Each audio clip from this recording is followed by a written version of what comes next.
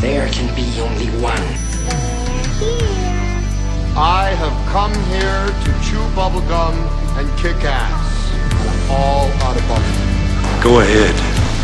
Make my day. Cinema Royale. Hello, welcome to Cinema Royale. Welcome to the big damn 30th episode. This is season 3, by the way. Hello there. Yeah. Say hoorah. Yay. Yay. Woohoo. Yeah, so, um, this is Cinema Royale. Uh, we talk about movies, and I'm Mike Mixtape, also known as Mike Mixtape Janik. Along with me are my awesome film aficionados. Uh, first up, let's just go with uh, James Sullivan, also known as Timitude. Tonight's broadcast is brought to you by the dawn of the Blipocalypse. Oh.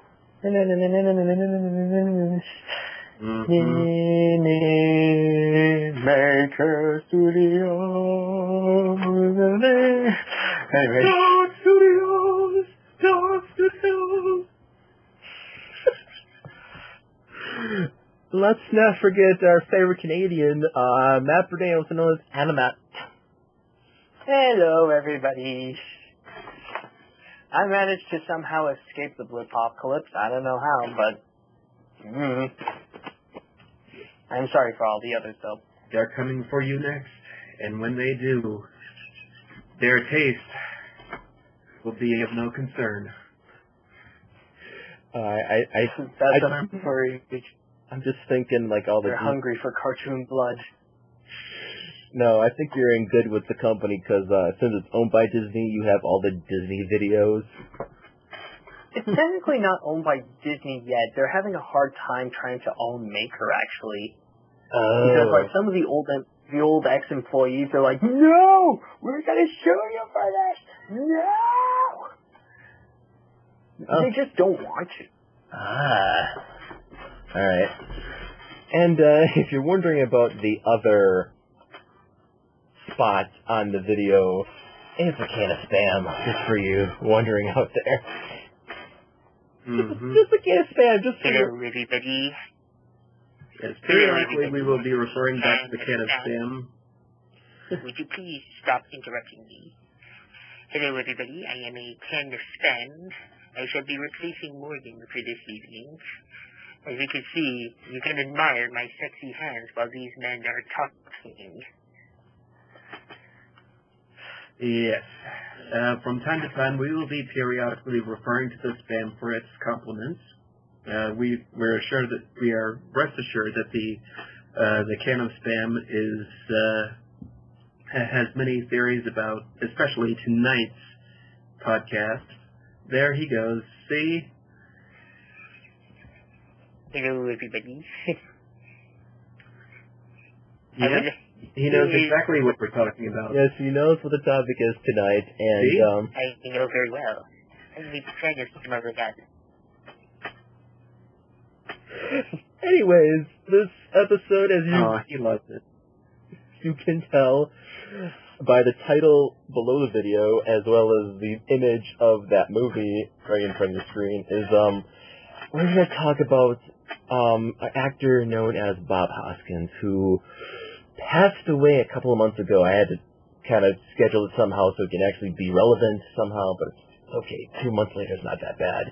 He died of Parkinson's and we're here to talk about his filmography and all his films and what he's done to the cinema. Um, it's actually the first time we actually. Um, sorry. Uh, I believe it was pneumonia. no, it was Parkinson's. You sure? Yeah, yeah. It's actually I'm on his uh, Wikipedia page. It actually said that um, Hopkins announced his retirement from acting after being diagnosed with Parkinson's disease in 2011. Oh, and then it says died from pneumonia. Okay. He didn't. Oh. He didn't die Oh, from okay. Parkinson's. Okay. okay, James was right. James was right. Okay, there you go. One point for James. Technically, you're both right. I mean, he did get Parkinson's and then he got pneumonia. So Yeah. All right, I got, I got, uh, who's the line points? It doesn't matter. exactly.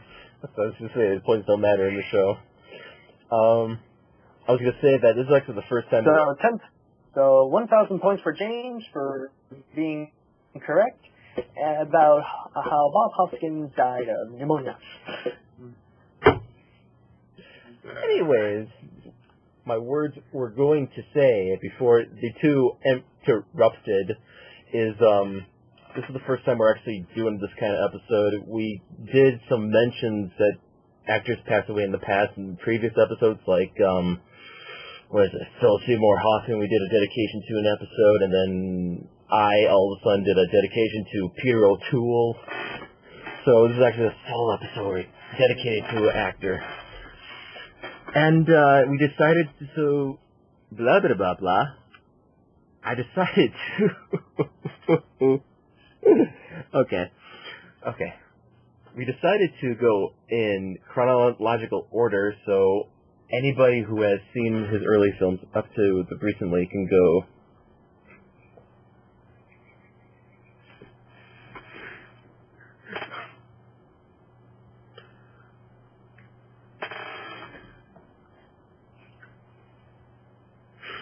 I would just like to present to you another film that I really do enjoy of Bob Hoskins, and uh, it's from the Criterion Collection as well, so uh, you can admire that, that I own a Criterion Collection DVD of it. Thank you, Spam. You are very welcome, Mr. Sullivan, or Mr. Tood if you like. Okay. Okay, so where do we begin with this? Well, we're going to start as close to the beginning of uh, Bob's career as as we can, which uh, I'm gonna, I'm just guessing here because I really am not familiar with his his stuff in the 70s. We're probably going to be in the, ending up starting Yeah. uh, in the 80s. Which is In fine by me. It's when he's starting to be more familiar. Mhm. So far, the only one that I see that's very familiar is well, Brazil, and also apparently Pink Floyd's The Wall.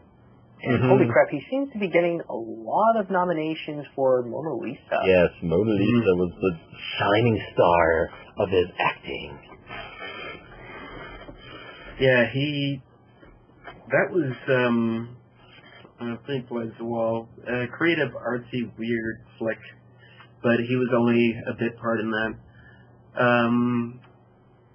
Uh, Mona Lisa. Ah, well, we're doing this in chronological order. I'll wait till we get to that. I think Mhm. we have Brazil to get through. Who wants to start? Honestly, you guys can go. I ha- um, I'll be very honest. I haven't really seen some of his work in the like his more early works before it's like the big one, which we will get to later. Mm-hmm. But like, you know, like I, I am familiar with Brazil and Pink Floyd's The Wall, but I actually have yet to see. But I really do want to see.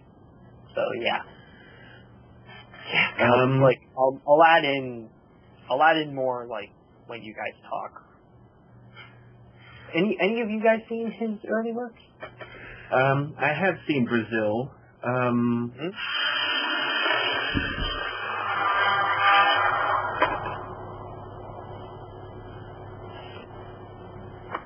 What the frick? was- Did somebody go to the bathroom? I think Godzilla just took a dump.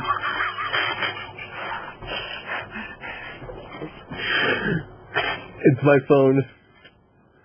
Okay. Ah, Anyway, like I was saying Oh, about okay. Brazil, Alright. um, I, uh, I I have to admit, I know that people love this movie, and with me, I have a pet peeve about, or I have had a pet peeve in the in the past about mo- uh, movies that I watch while sick and therefore did not enjoy the experience. And this is sort of one of those. I guess it's not a good movie to watch while you're sick.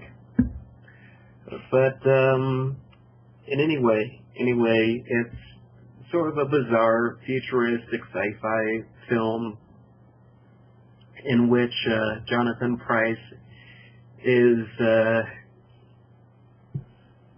in love with a in love with a, a woman that he sees in his dreams, and somehow he suddenly starts seeing her in reality, or a woman that looks like her, and he falls in love with her and goes crazy with her. Uh, but at the same time, all this is happening, he ends up getting involved with some underground, uh, some underground rebellion force against the uh, fascist government that uh, that uh, he lives under, which is Brazil without Brazilians. Think about that.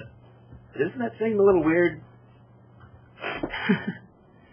In Brazil, every everybody's either everybody's either either English or American, but no no Brazilians.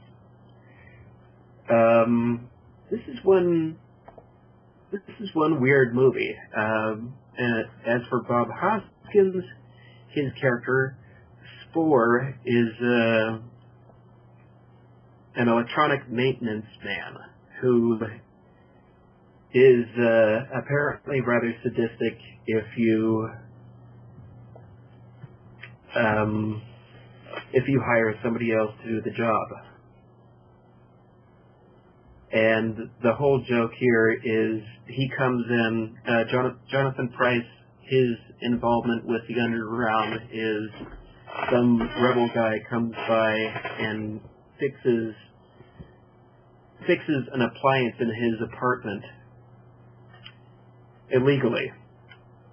And uh, Bob Hoskins plays one of one of two uh, federally funded appliance guys who come by and uh, try to fix it. And Jonathan Pryce says, "No, sorry, it's already fixed." Uh, it sort of fixed itself. So later on in the film, Hoskins and his partner come back and destroy the guy's house. And um, it, it's probably he's probably the only funny thing actually about it. Um, Which is ironic to hear, considering that, from what I've heard, there are a few actual Monty Python members in there. Like, I know that this is Terry Gilliam's movie, he's the director and stuff like that, but I know that others are in there as well. Like, uh, I know Michael Palin is in there. Robert Jr.? Anyways, my, I know Michael Palin is in there. Wait, Katherine? Yeah, I think, uh, Katherine Helmond. I think, no. No, no, no. No, it's not her. Wait, or is it? Is it actually? I'm trying to check if um, the woman, or no, maybe it's just Michael Palin. Yeah, sorry to interrupt you. Yeah. Oh, you pretty much nailed it. Uh, yeah, there's there's a lot of pythons in here. There's there's um, different familiar names, celebrity names, and whatnot. Uh, folks you would be familiar with if you saw them. And um, I know I know people love this. this uh, Terry Gilliam is just a guy that I sort of have a love hate relationship with. I um his his stuff with the pythons, okay, cool. um, Time Bandits. Uh, what was up with that ending? Um, Also, the Imaginarium of Dr. Parnassus, which is pretty much the only way to describe it is if you take all the cartoons of uh, from of Monty Python and they're just not funny for some reason. That's the only way to describe that movie. oh no no, the the biggest WTF of Terry Gilliam's career, Tideland. Tideland? Wait.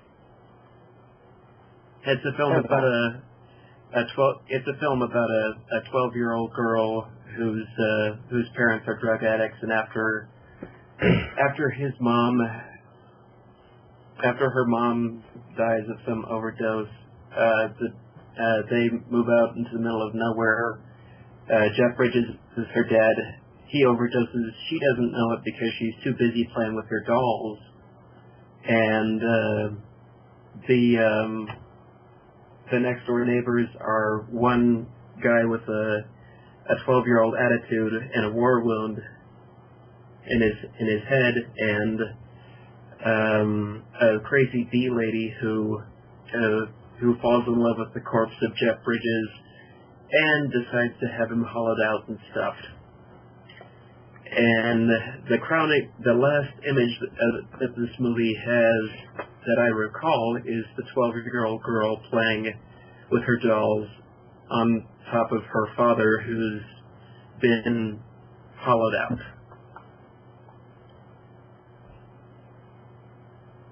I'm sorry, what? And, and oh yeah, there's some pedophilia too. Pedophilia too. She falls in love with the guy who's got the war wound, and they they do kiss on the mouth. Oh, that's lovely. When did this turn into a Tyr- Tyrion Gilliam uh, episode? Like, what? When we when we brought up Brazil, I know he's the Uh. So. Because the thing is, is, yeah, because Brazil, when you think of Brazil, you just think that this is, the only thing that you can think of is that this is Terry Gilliam's magnum opus. And, um, and that, that's pretty, that's pretty much it. Like, it has been phenomenally known. This is, be- like, beloved by many. This is also said to be Doug Walker's favorite movie, actually, of all time. So, um, give me Barry Moon, Baron Munchausen and then the Brothers Grimm, please. so pretty much I haven't seen it. I've heard it's very weird, so I don't really know what to say yeah, about it. me either. I haven't seen it either. So, cut me out. Mm, mm. Yeah, so that should be something I should see. Actually. Yeah. That and The Wall. I need I need to see that. Yeah. Considering I've actually gotten requests for The Wall Mhm. for in the animation hat for my classic reviews. Since it's like it's part live action and actually part animated, Mhm. I am really interested to see it though. It- you might like it actually. Um, I did want to mention Pink Floyd's The Wall briefly without spoiling anything for you. I mean, of course, Pink Floyd's The Wall has, I wouldn't say a role by Bob Hoskins, like a cameo more more or less, because he plays the band manager of the lead character. So he, he pops in like in one scene, and then just vanishes from the rest of the movie pretty much. So, um, basically the film is just um, the Wall the album The Wall as a one big music video. Mm-hmm. Mm. So it's a, it's a little bit like, um, does it have a narrative to it? Because like the only parallel that I can think of is um, is uh, uh, the Beatles' Yellow Submarine. Well, I suppose the album has like a narrative to it if you listen to the lyrics and the music, but the visuals just kind of complement the music and lyrics. Ah, There's like so not really a movie, but just like just um, partly animated concert, I guess. yeah, concert without being you know live Mhm. like just pure on like the world's longest music video. Yeah. Okay. Makes sense. But it's actually really good, actually, to Pink Floyd fan. So How dare on. you guys? How dare you guys move on without me mentioning about Brazil? I have it in front of me. How Oh, dare yes. you not speak more about this? Oh yes, Spam. What uh, what's your opinion on on uh, Brazil? I don't know, but I guess I shall agree with you to move on. Because now I am showing Roger Rabbit. Oh no, wait. I am actually now showing Hook. But Roger Rabbit is before is before Hook, so I guess you guys can move on to that. Unless you have an idea about Mona Lisa. Oh, and I also have an SNES game for some reason. And a Sega Genesis game. They're both about Hook actually. Hmm. Well, we'll, we'll get to Hook in a little bit. Okay, Spam. Uh. Okay. Um. I should move I shall move all of this and put you out Roger Rabbit. In the meantime, my games and Hook can rest over here. Well.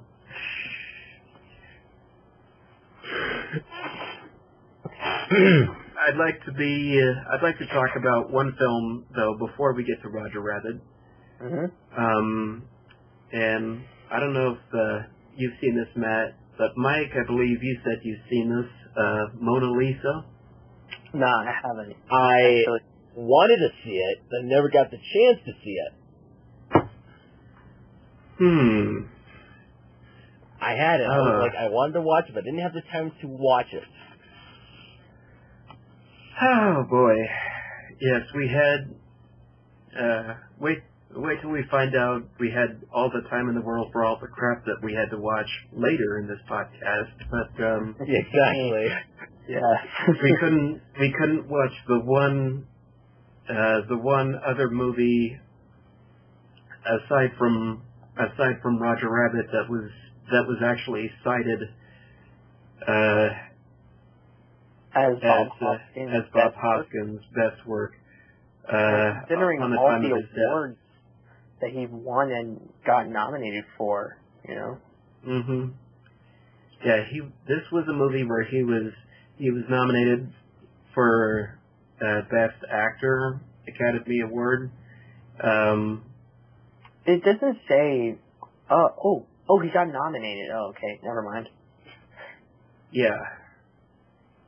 And so, what's the plot of this film? Uh, well, after having seen it, uh, he plays a guy named George who's just gotten out of prison. He goes to Michael Caine, who's a pimp, and uh, Michael Caine is a pimp. You didn't see that coming. Actually, you probably could, but not in this country. Um, and uh, Caine assigns him to uh, be the be the driver for a high class call girl by the name of Simone.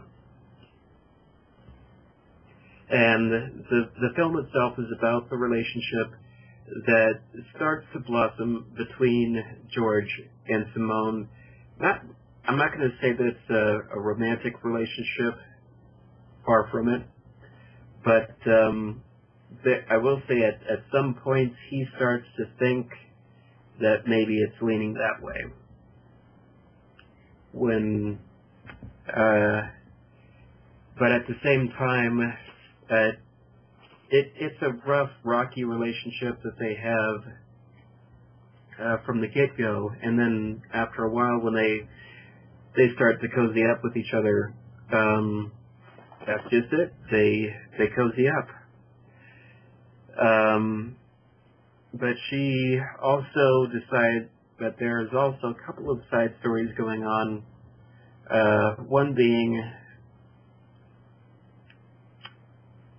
one being that uh, Michael Caine uh, wants jo- uh, George, the Hoskins character, to uh, get uh, get evidence of Simone doing some freaky, nasty shit while on the job, while she's uh, saying this whole time that she's just having tea with her with her customers.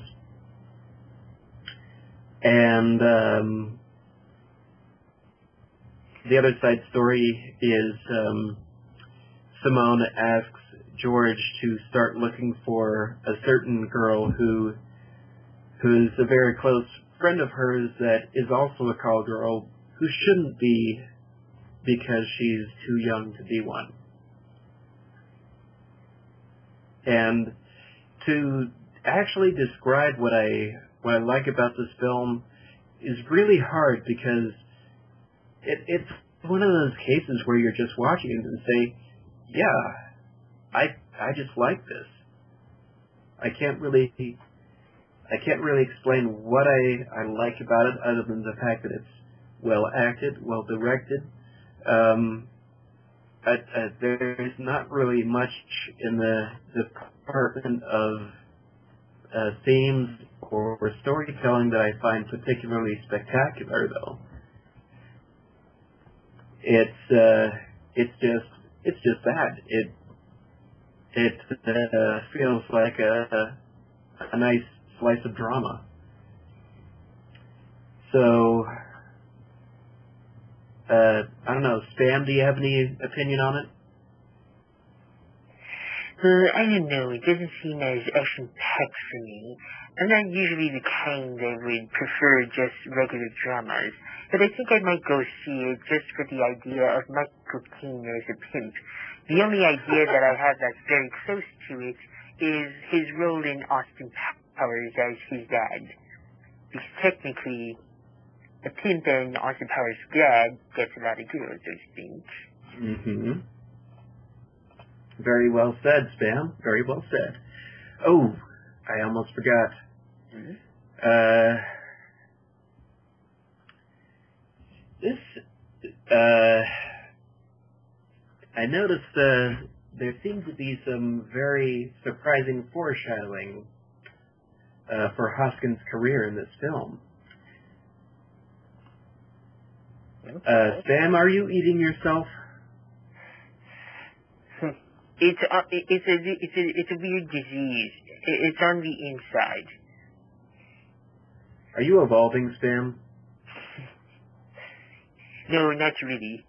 You would hear the Pokemon music when it's announced. Okay. It's Yeah. just the stock is a little bit stinky. I don't know why it's here. It's it's not. It has nothing to do with Bob Hoskins. I would be very impressed if he actually wore it, but Stop one know. upping me or I will open up my can opener. oh, you don't want to do that now. My spam is actually 15 years old. Oh. Okay. I apologize for the threat. Just we're we're trying to keep uh we're we're we're trying to keep uh, a flow going here. You understand? Yeah, you better. Okay. You son of a bitch. So All right, so is it time to go to uh, Bob Hopkins' Career Maker? yes. Um. Before Now, that let me though, just get me. Get, hold on, I just need to properly place uh, all of my uh, hook stuff just so it can present perfectly Who Framed Roger Rabbit.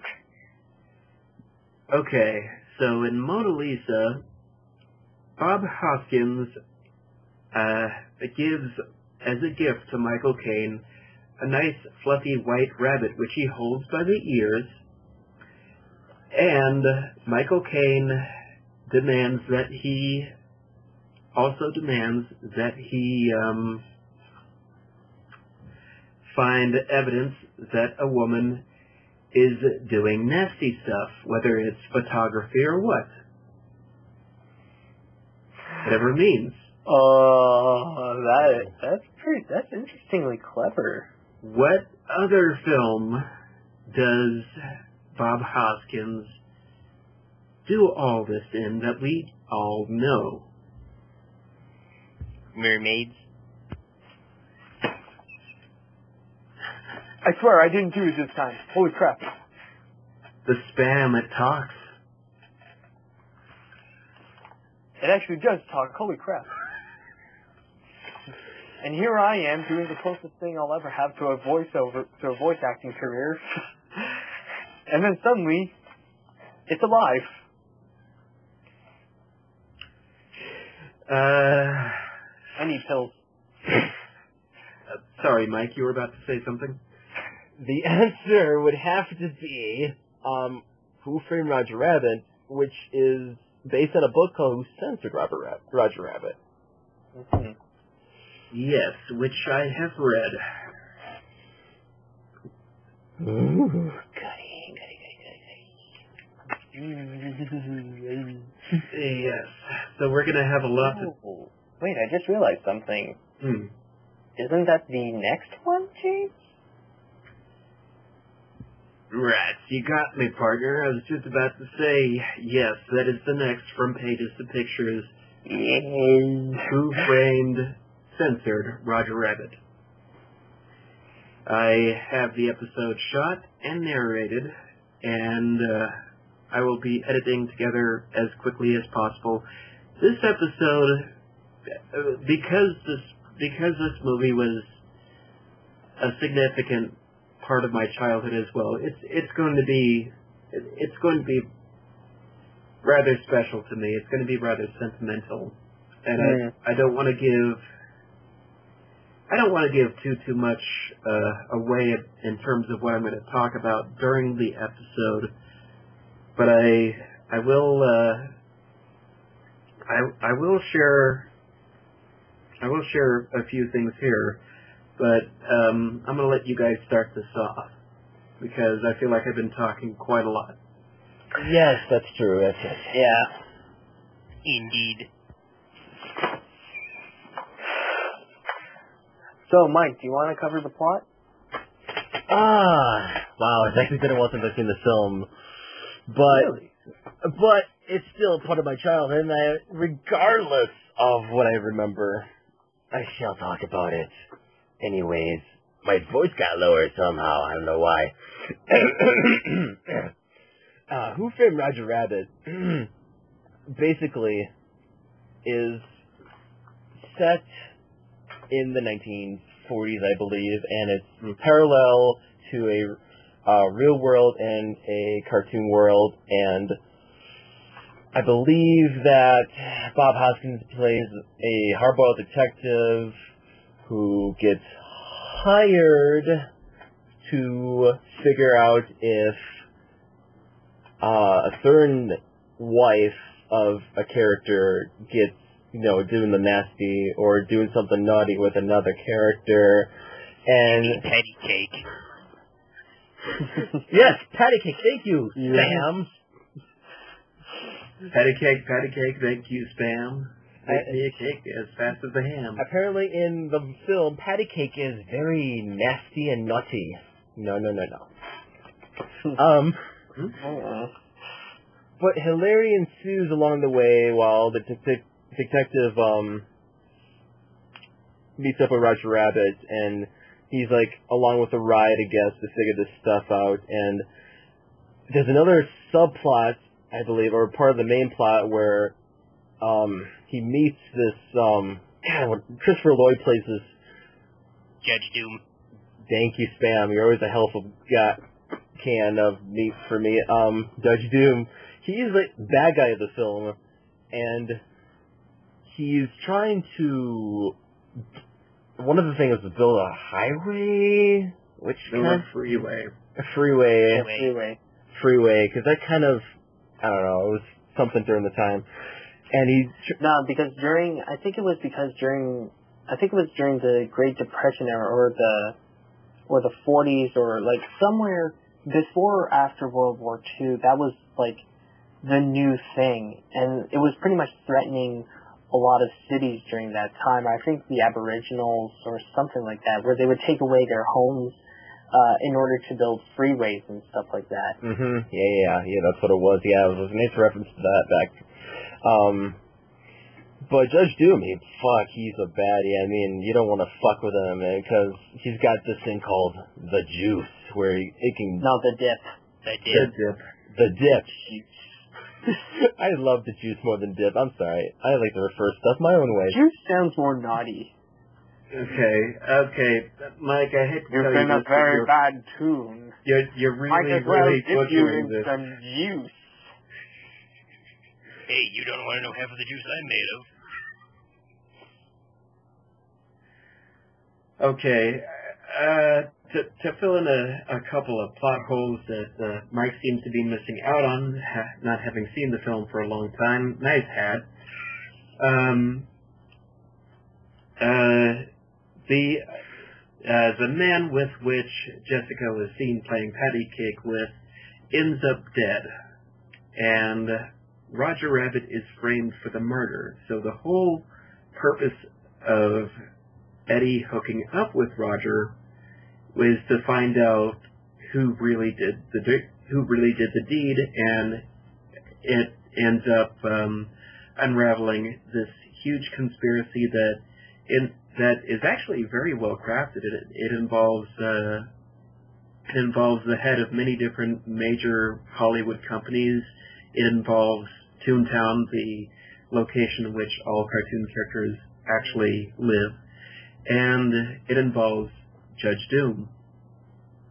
So, um, I, I've actually actually had the opportunity to rewatch this film recently, of course, because of the new episode coming out, and I I'm always I'm always um, fascinated by just by just how complex the film is, and how at the same time it is able to weave a nice uh, a nice uh, plot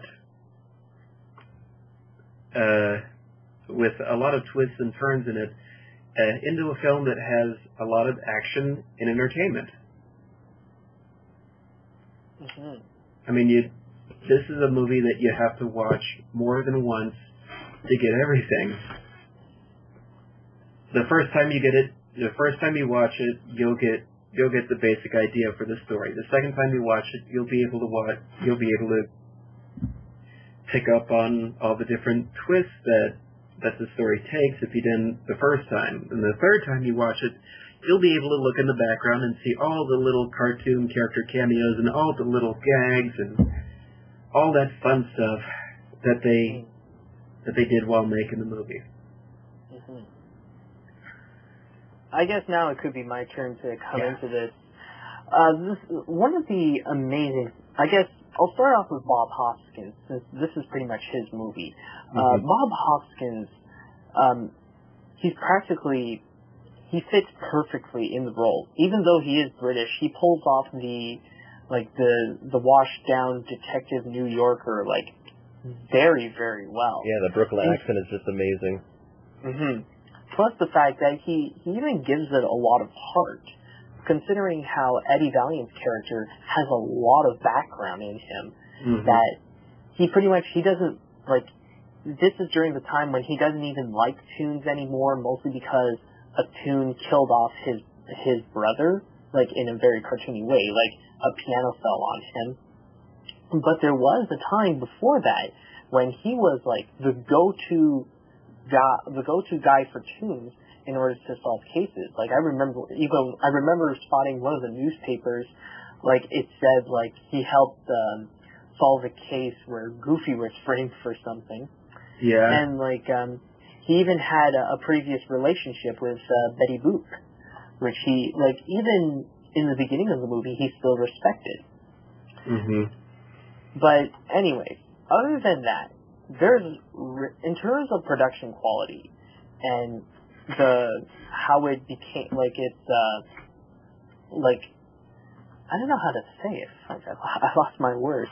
I just lost my words. Um, how the impact it had. There we go. The impact it had. There is a lot to say about it. In terms of production value, it is it is pretty much phenomenal to the point where it's even innovative where how they took all these classic characters, like how how they took like cartoons and is and essentially integrate them into real life. And we see a lot of these characters interacting even with real objects, like um, Roger Rabbit, like holding a glass, or like one of the weasels holding an actual gun. It's Mhm. pretty much amazing how they would like all the technicalities and all the and how they just pretty much bring it to life. And uh, what else? What else can I add about the? Uh, uh, what else can I add about the animation? There's just so much. There's just like so much. To, oh yeah, one thing I want to mention is that this is something that um, the world has never seen before. This hasn't been done in a long time. The last time this thing actually happened was back during the 40s, uh, back when Disney made the Three Caballeros during the scene when Donald was chasing the girls in a beach, and, and also Songs of the South when Uncle Remus was interacting with all the uh, little woodland creatures and like uh, the bluebird or Brer Rabbit. In that And case, finally- don't forget Dragon. exactly. You skipped over her uh, bed knobs and broomsticks, Mary Poppins, but I kind of get your point. Well, no, this one. Well, yeah, but this is no, but like, like what I'm what I mean about these um, the last two films is that like we've seen this like inter- like use it all the time where they where they used it like in Mary Poppins and Bernard's and Broomstick there's only a few scenes that happen. Not like not like in Roger Rabbit where everything is like that. Where Mm. where you always see a, a live action interact with uh, tunes. And speaking of the tunes themselves, this is one of the major innovations that it had. This is pretty much a kid's dream come true when they see this because this is all the characters um, that we pre- that we um, all fell in love with from like old cartoons finally coming together because nowhere else will you find an official thing? Like this is during the time before the internet and like fan fictions and fan art can be created. Like this is back during the days like now this is an official thing where we finally see like uh, the characters from Disney and the characters from Looney Tunes like working to like we see them together like casually.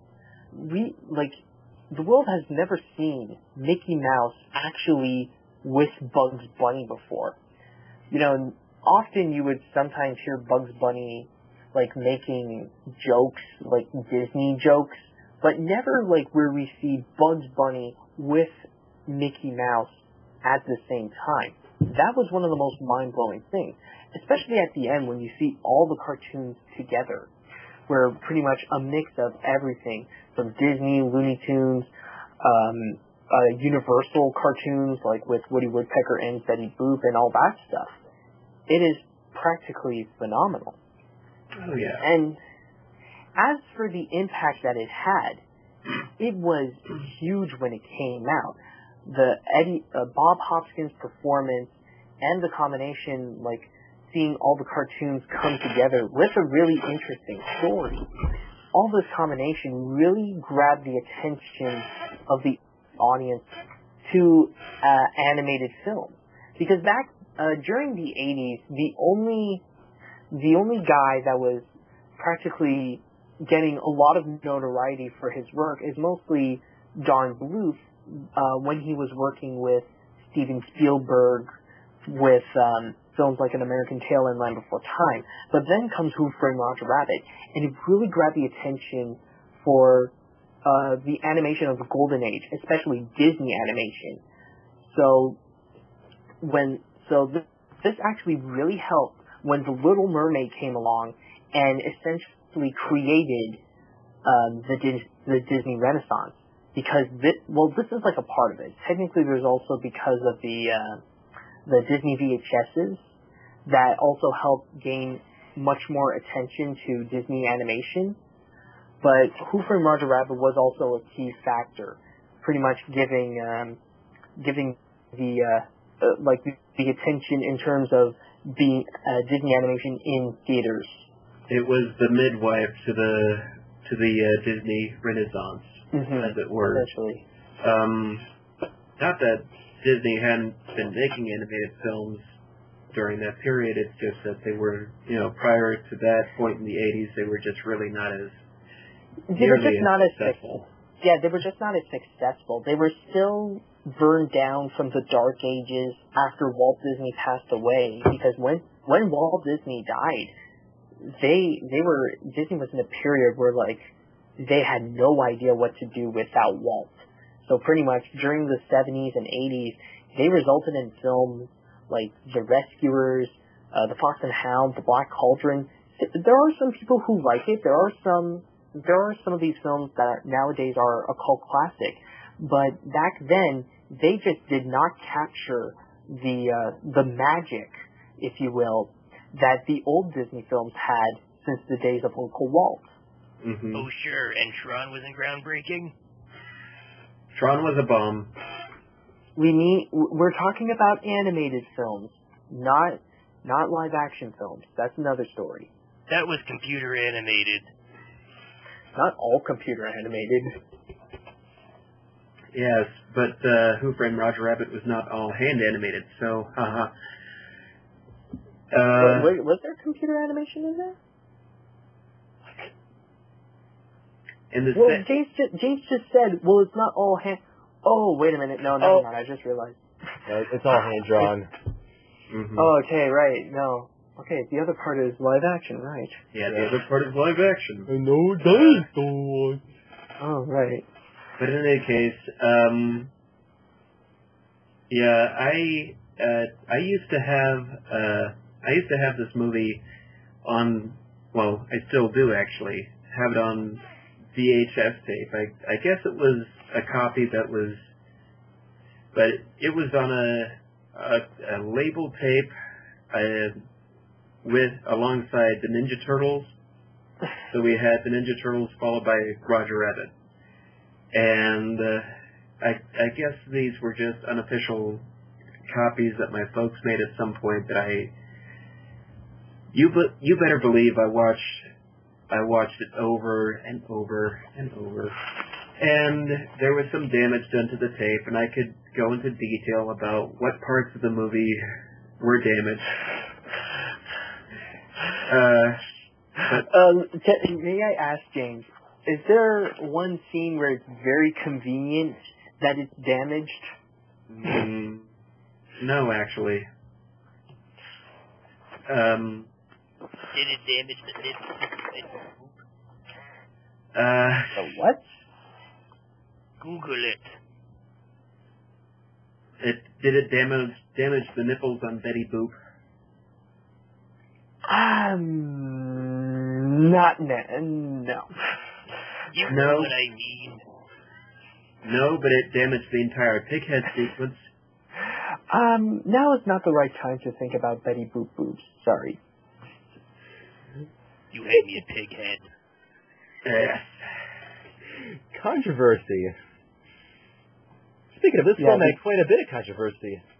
Mm-hmm. Screw you, I'm going out of here.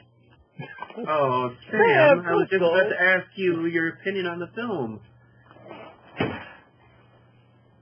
Anyway, but Don't yeah, go, Sam. The British people are gonna get you.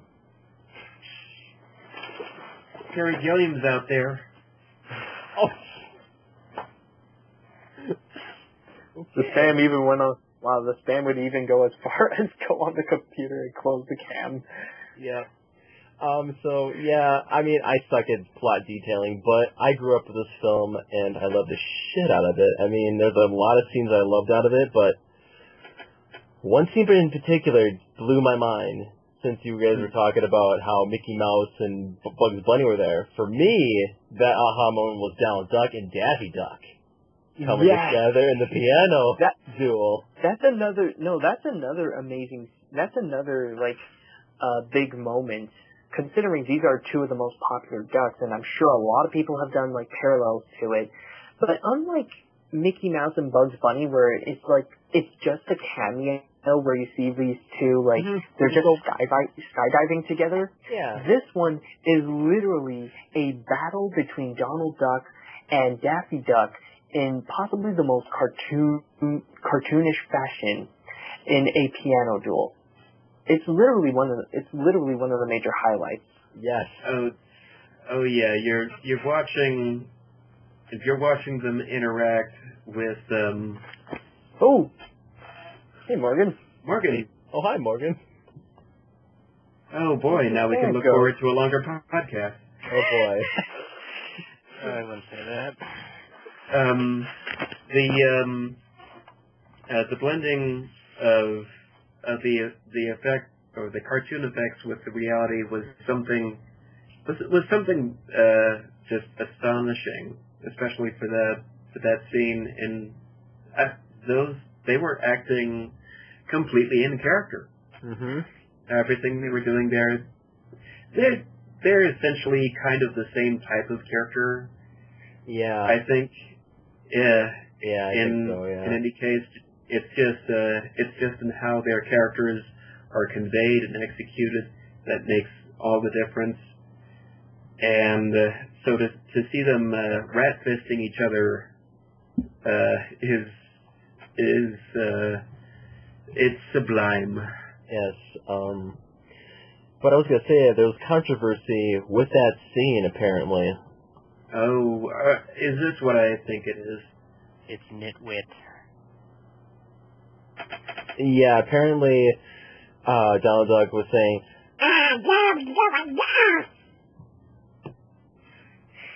Oh my god, I forgot about your Donald Duck impression. Doggone stubborn little dot dot dot. That's what he was saying. That was in the script, yeah, but apparently people are like, he said the N word. Oh my god. I thought the reason of its controversy was the fact that Chuck Jones laid that scene out and he was disappointed with what they did in the final cut. Mm, maybe so. Maybe. Maybe, but that's another story. That that's Mhm. another controversy. Did, was he actually, or Yeah, yeah, he pretty much laid Oh. the scene out and he was listed as a creative consultant, um, but he had very few kind words for Roger. Hmm. Good to know. Uh, somewhat bring up. Uh, well, uh, if anyone has any any, if Chuck Jones had any controversies with anyone, um, let's see, what was that movie he made with uh, with the uh, the cast and Judy Garland was a voice? oh, Gay Purr-ee? Yeah, I I don't think he's got anything to complain about.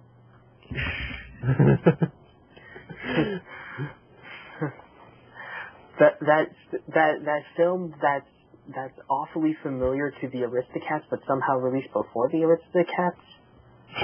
Yeah, and yet somehow the Aristocats is just a little bit better.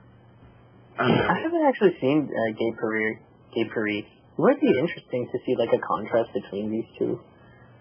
No, but wait a minute. Wasn't Gay Purr-ee like just a Warner Brothers animated thing, not a not like a Chuck Jones thing?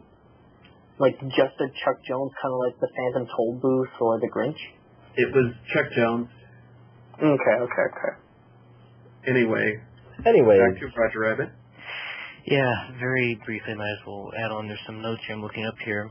Um, according to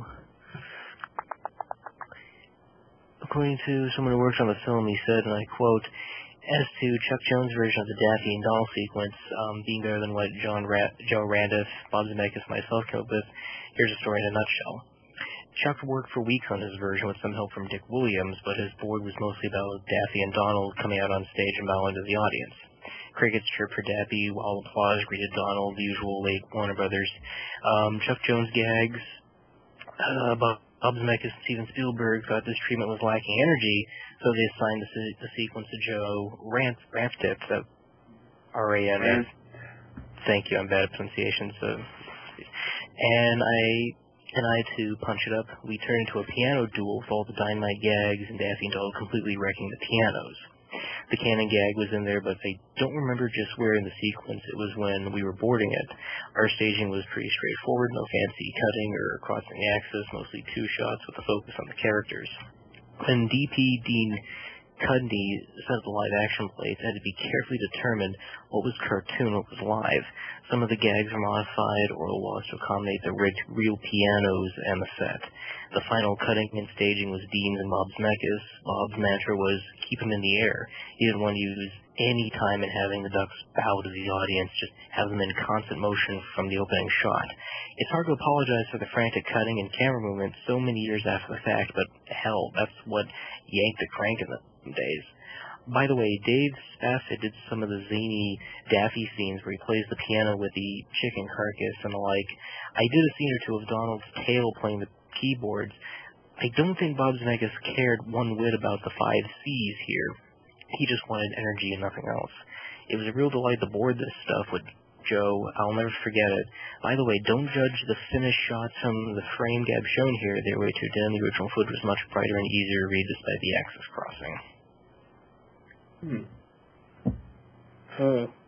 Wow. You know, you know, not to uh, offend Chuck Jones, but honestly, I really, I actually really, I think what they did in the final cut is it sounds a lot better than his idea because here's the thing, this is this is going to be the only this is the only scene where you see Donald Duck and Daffy Duck duel out. So you gotta you gotta go with a bang. You gotta go with something big because this is gonna be their this is gonna be their moment. So the piano duel, a lo- yes, there's a lot of energy, Yeah. but you need a lot of energy because, the, like, this is going to pre- pretty much to contrast the audiences energy when they see frickin' Daffy Duck and Donald Duck duel out. And not to mention, this is a cartoon number that's been done to death in a lot of cartoons. I'm trying to remember the name of it. It's um, it's I remember used in Tom, Tom and Jerry had been done one. the the, the Cad Crack Concerto, and and then Concerto. And then there was the one Bugs Bunny did, and then the the one Private before that. Yes, but there was also another one too with a construction crew building a building to the tune of the song. It's I can't remember the name of it, but it's a really good one. Uh, is it the one in? Uh, no, it couldn't be. The one in Fantasia 2000. No, Rhapsody, no, no, no, no, no. This came out way before those two movies, man.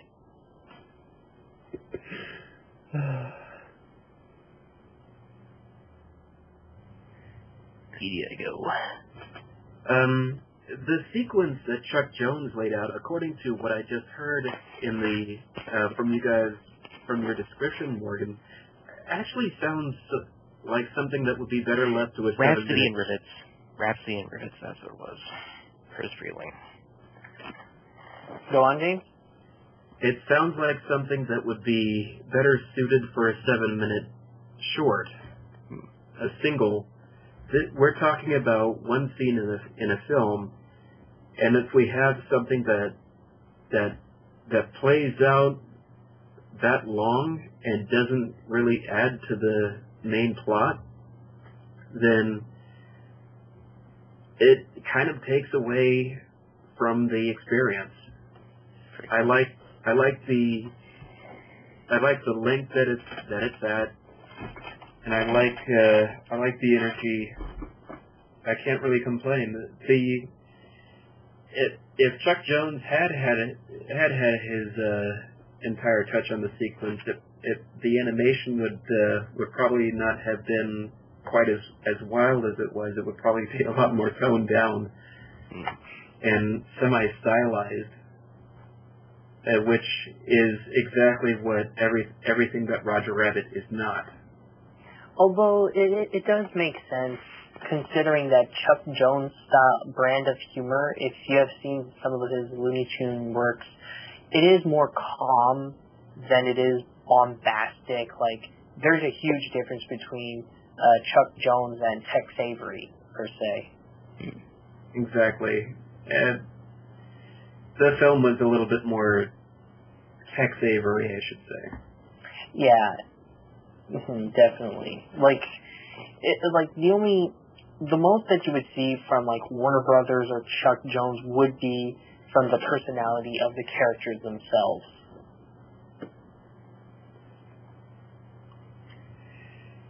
Uh, so yeah, the last the last bit that I I really had to say about about this film was um, I remember Morgan and I were actually watching tidbits of it, and we came across I came across uh, something on YouTube that we watched together. It was a it was a breakdown of the Toontown sequence.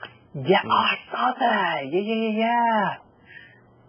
and uh, you know they they had all of the uh, all of the blue screen shots laid out uh, to the to the tone of the film. They were all the work print stuff before all the effects are done, and you realize It'd be really interesting to see the movie that way.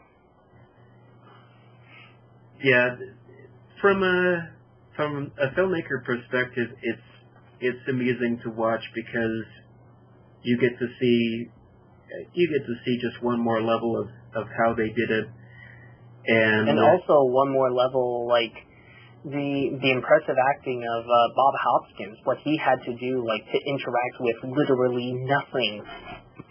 except for a couple of sticks and Yeah. like when they like when they have uh, him talking with uh, Bugs Bunny and Mickey, he's just uh, uh, he he's just talking to a, a couple of sticks that prop guys are waving at him, hmm and uh, to prepare for this role, Bob Hoskins had to he was actually watching his daughter uh, interact with her imaginary friends. You know, she was playing tea kettle or or something, and and he was just sort of watching like, okay, how does she do this? And that uh, that sort of magic was what what was brought on there.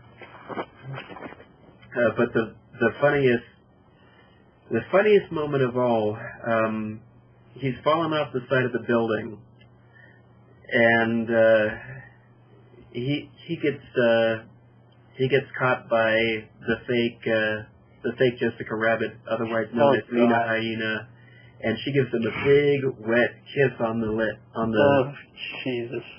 on the on his cheek, and he goes flying backwards.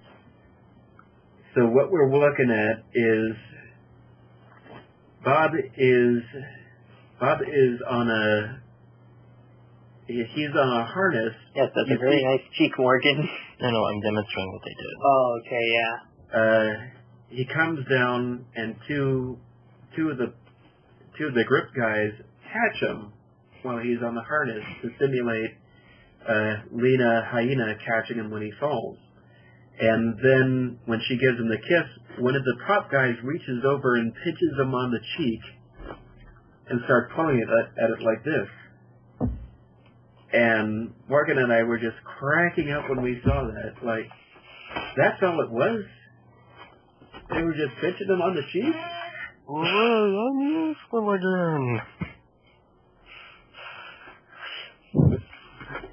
But what, what were you expecting? A large blue man kiss him on the cheek? I'd actually rather not have that happen. But thanks for the image. Maybe someone could come up. Maybe if the if it's No, don't suggest art for this. the blue man could come over and bite him on the cheek and just go. "Arr." No, no, what was the Blue Man group that came up and had like these giant tongs and just from a distance try to stretch his cheek? Oh god, I could just imagine like just Bob Hoskins acting it, and then all you see is just the Blue Man Group going like.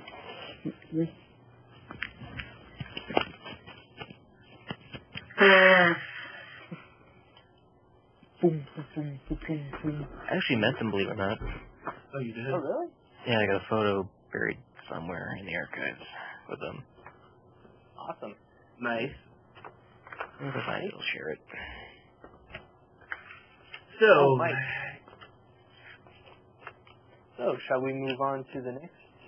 Yes, we should now move on to the next one, and I believe James has seen the next film that came after um, Roger Rabbit quite some time, about two years, called Mermaids. Yeah. Morgan and I watched this movie together. How well has it aged? Uh. Proceed. Oh my god. well, who wants uh, who wants to start this one off? Um, I haven't seen it, so you can go ahead. Okay, guess I'll All I know, because there is one thing that I just noticed that, oh, this doesn't, I don't know if it, if you guys liked it or not, but, oh dear, the mermaid, uh, Yes. really? No, no, no, it's not about mermaid. It's a metaphorical thing. Well, just the, the main actress. Cher. Hey. Cher. Yeah. Yes, mermaid. Cher Alright. with Bob Hoskins. Have you ever wanted to see those two in bed together? This movie will show you that. Shirtless. Oh, my God! Okay. Oh my god. as hairy as me. I don't even want to know. You think about that all night. Good. I I'll dream will about make you that. beautiful, Jack. Whatever, whatever. Well, before he was caught with his pants down, have some fun shirtless. now. remember that.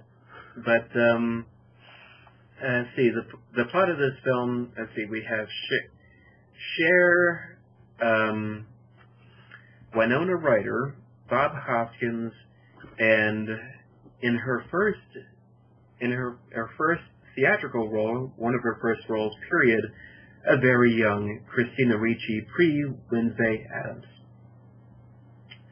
Um, the plot of this film is Cher plays the role of Mrs. Flax, uh, a single mom uh, with two daughters, played by Winona Ryder and Christina Ricci, back in the 60s, uh, who has a, and she has a hobby uh, of uh, trying to seek men and making them suffer every time, every time that she does, inadvertently, under the best circumstances. Uh, her deal is every time every time she seeks a relationship with a man, she ends up breaking up with him, and as soon as they break up, they move. So, uh, the this movie starts out with uh, Cher breaking up with uh, uh, one particular guy who, as it turns out, is married, and they move to where are we going, Morgan?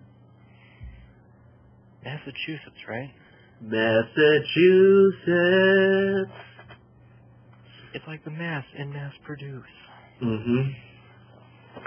And they, uh, that is where they settle down for the time being. This, uh, this, uh, not so likably, uh, dysfunctional family in which, uh, no one seems to agree with each other and Winona Ryder is messed up in the head because she's been touted around her whole life and never stayed in one single location. And for Cher, Bob Hoskins is the new man of the hour, a guy who lives in a guy who lives in Massachusetts. He's he's from uh, South Dakota, I think he said, and uh, we'll see how how well this relationship pans out. Um, I, for one, thought that when this movie came out, it was just sort of okay. And watching it again after so many years, I just felt like it was okay. uh, but we couldn't help but, uh, Morgan and I both noticed one thing that we completely agree on here. And that is, after doing a fantastic job with, uh, with the New York accent as Eddie Valiant, Bob Hoskins has no idea where his accent wants to set itself here. First it's Brooklyn, then it's Welsh, then it's uh, British or something. He channels Eddie Valiant at one point, and that doesn't work. It's like really weird, really really weird. It's sort of talking in a voice kind of like this, and you're sort of channeling different kind of things, like you're going all Woody Allen and stuff, and then you're all New York, and then it's somebody's going on the road. It's weird. It's like he's channeling different accents, and it's not working. The man who knows how to make an American accent doesn't know how to pull off a New England accent. It just doesn't work. And good God, wait till we get to next week's topic, Mike, because there's a certain movie I have a bone to pick with on that front. Um, he gave me a sneak peek, creep, and keep my mouth shut. Mhm. I, I think you know what it is, Mike. I think you know what it is. I, Mike. I know what moving it on, moving on, moving on. Mermaids. Bob Hoskins, you know, he is great. I- I'm pretty sure, you know, he knows how to channel his Be right Okay, he knows how to channel his vocals quite a bit, but when he does this accent, it doesn't sound American. It sounds really off-putting. Like he's trying to do a, a basic American accent, a, a New England accent, but it sounds like a British man doing a poor version of Woody Allen. That's how bad it is. Wow. Yeah, it's. Don't even get me started with the ending. It's just. Ugh. It's like this is a really bad mother who's, you know, influencing.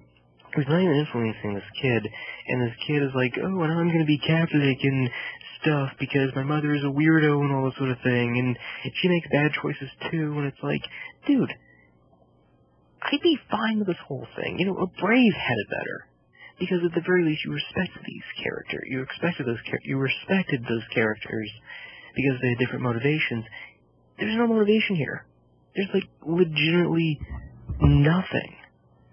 And, and we finally get the, change around at the end with the mother and the daughter. It's too late already. It, it's legitimately too late. Something happens um, to the daughter, you know, near the end, like, you know, she's doing something and doesn't see her younger sister, and her younger sister nearly dies. Played by Christina Ricci, by the way. Mm-hmm. And the fact that she's making bad choices, and the fact that she's having absolutely no mode of influence, no mode of guidance, and the fact that the mother in the movie is a poor example of a single mother. I've seen movies like Radio Flyer and uh, I'm trying to think of another one off the top of my head, but you know, even in those movies, you had at least some form of respect for the parent. Here, uh, there's nothing. There's just nothing. It doesn't even feel like a satire or a parody of it. Even the poster looks like a happy eh, late 80s kiddie film, and it's just terrible. I mean, at the very least, even John Waters' polyester knew what to be. And at least that was, you know, parodying the dramatization of single wife fantasies and dramas, you know, the typical housewife having a poor relationship with the husband and the kids are going off doing stupid things. You know, at least that knew what to be. Was a dark comedy. It's John Waters, go figure. Mermaids is nothing. It's these two main characters are so hateable that you really want to turn the movie off. I mean, literally, early in the film, um, she kisses this person that she likes, and she has no uh, knowledge of sex education, so she thinks she kisses a man, she's going to become pregnant. And she's True. a teenager. Okay. Idiot. At that certain age, you should be told, not by the school, but by your own mother, but because of how ignorant the mother is, and because of, you know, the school, I don't know, maybe 60 to 50 standards, I, I don't think we had sex ed back then. it, it speaks for itself. It legitimately speaks for itself. She doesn't even have the puppets. She doesn't do anything. She doesn't say, "Oh, this is what happens when a mommy and a daddy get together and stuff." She doesn't. She she she's not taking care of these kids. She's uh, a terrible role model. She's you know completely saying, "Oh, my life's ruined. Let's move away to somewhere else." Because of those, I just couldn't get into it. Mhm. I, I, I- I just couldn't. You know, at first I'm like, oh, this is decent. This will probably change around near the end. And by the time it changed around, it was too late for me. It, it was really too late. Uh, I the um I I come I came across uh I came across a mention of this movie many many years ago. Um and don't worry, I'm not about to get political, but the name I about to mention uh it I can't remember what it was. I was reading a book by Ann Coulter. Just bear with me. I don't know her anyway, so go on. uh, she was talking about she was talking about how uh, single moms are are like uh, are like heroes in Hollywood, and she cited a bunch of movies uh, as that feature single moms as prominent characters. This movie being an uh, one of them, another one being Anywhere But Here with Susan Sarandon and Natalie Portman. And I was, I was thinking to myself, did she actually watch these movies? Because these characters are definitely not heroes, or at least not how they're portrayed. In these movies, they're Oh, no, wait. Now I remember it was because of Winn Dixie that was a better example. oh, Winn Dixie.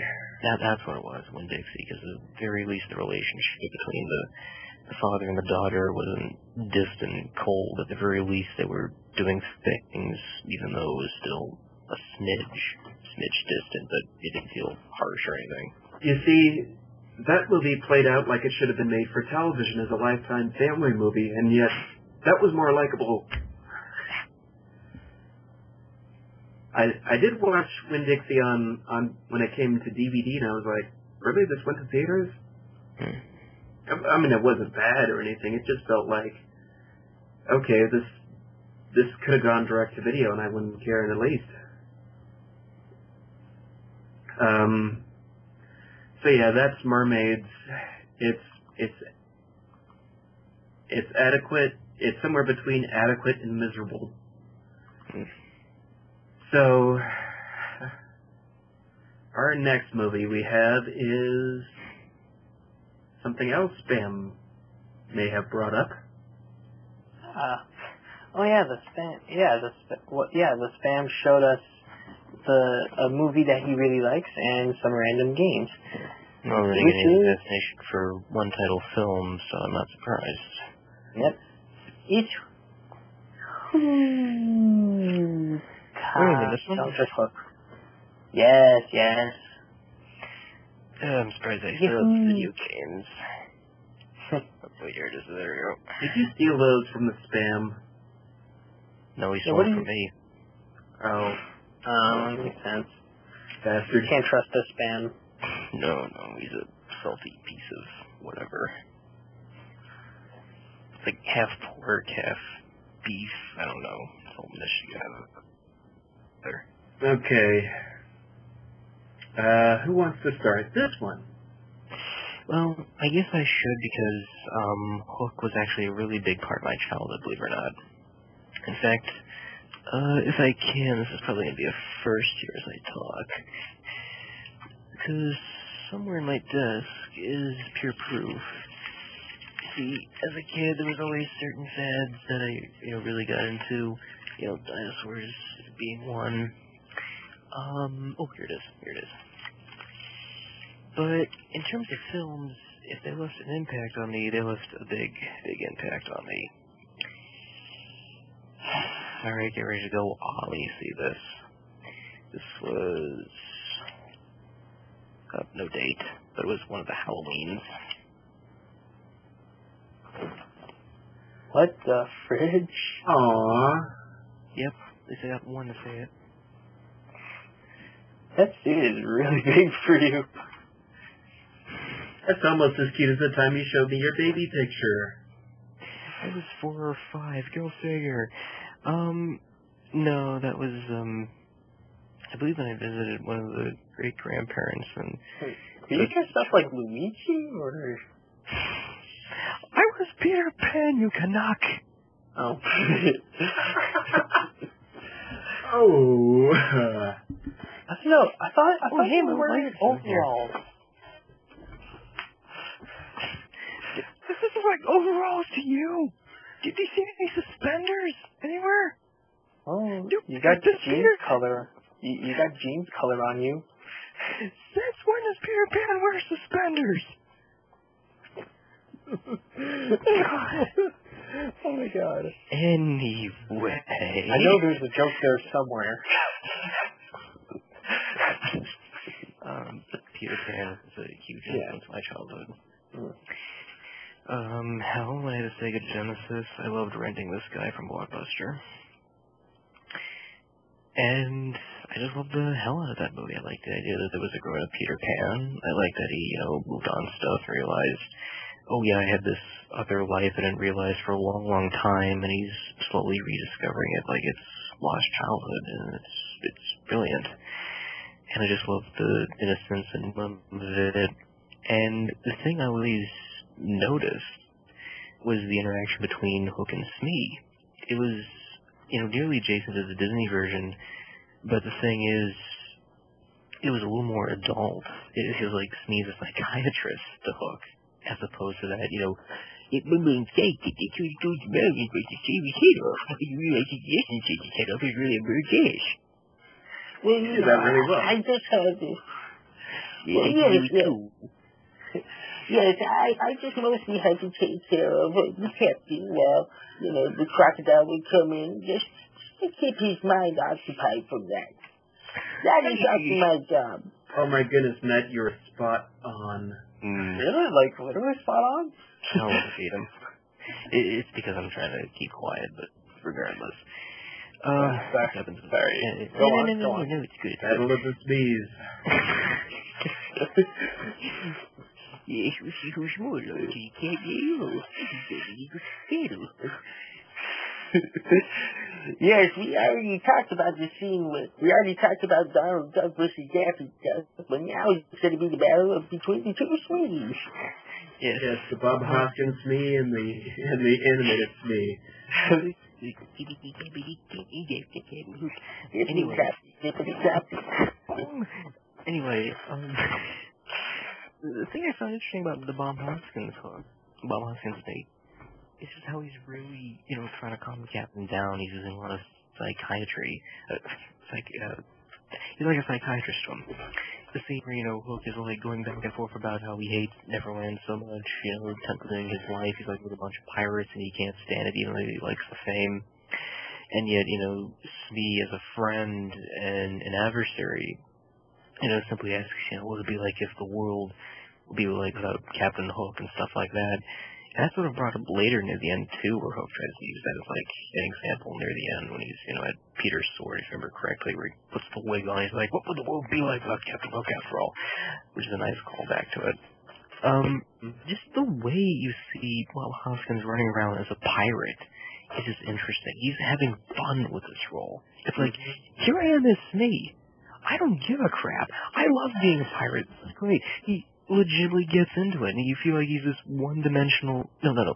He's this three-dimensional wacky that you can definitely see like be running on a bar. It's amazing, and it really helps a lot for some really good gags as well. Like when um, Tinkerbell is floating in front of Hook's face, he's like, "Don't worry, Captain, I'll get that bloody bugger."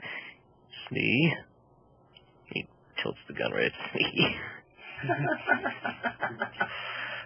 Uh, It, it, it, it's like, yes, he's the second banana, but he doesn't care. He'll do anything because it's the captain for crying out loud. He knows his limits, just like the Disney version. Mm-hmm.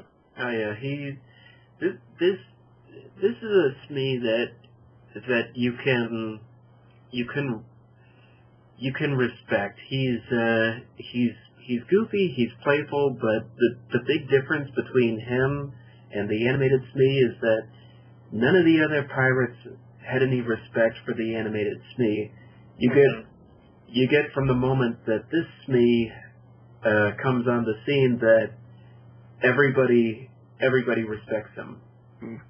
Nobody's no nobody's jealous of him or anything. You know, he's got he's got his uh, his bugle horn that he's addressing everybody with, and uh, he's he's owning it up like he's uh like he's Johnny Carson or some night show host.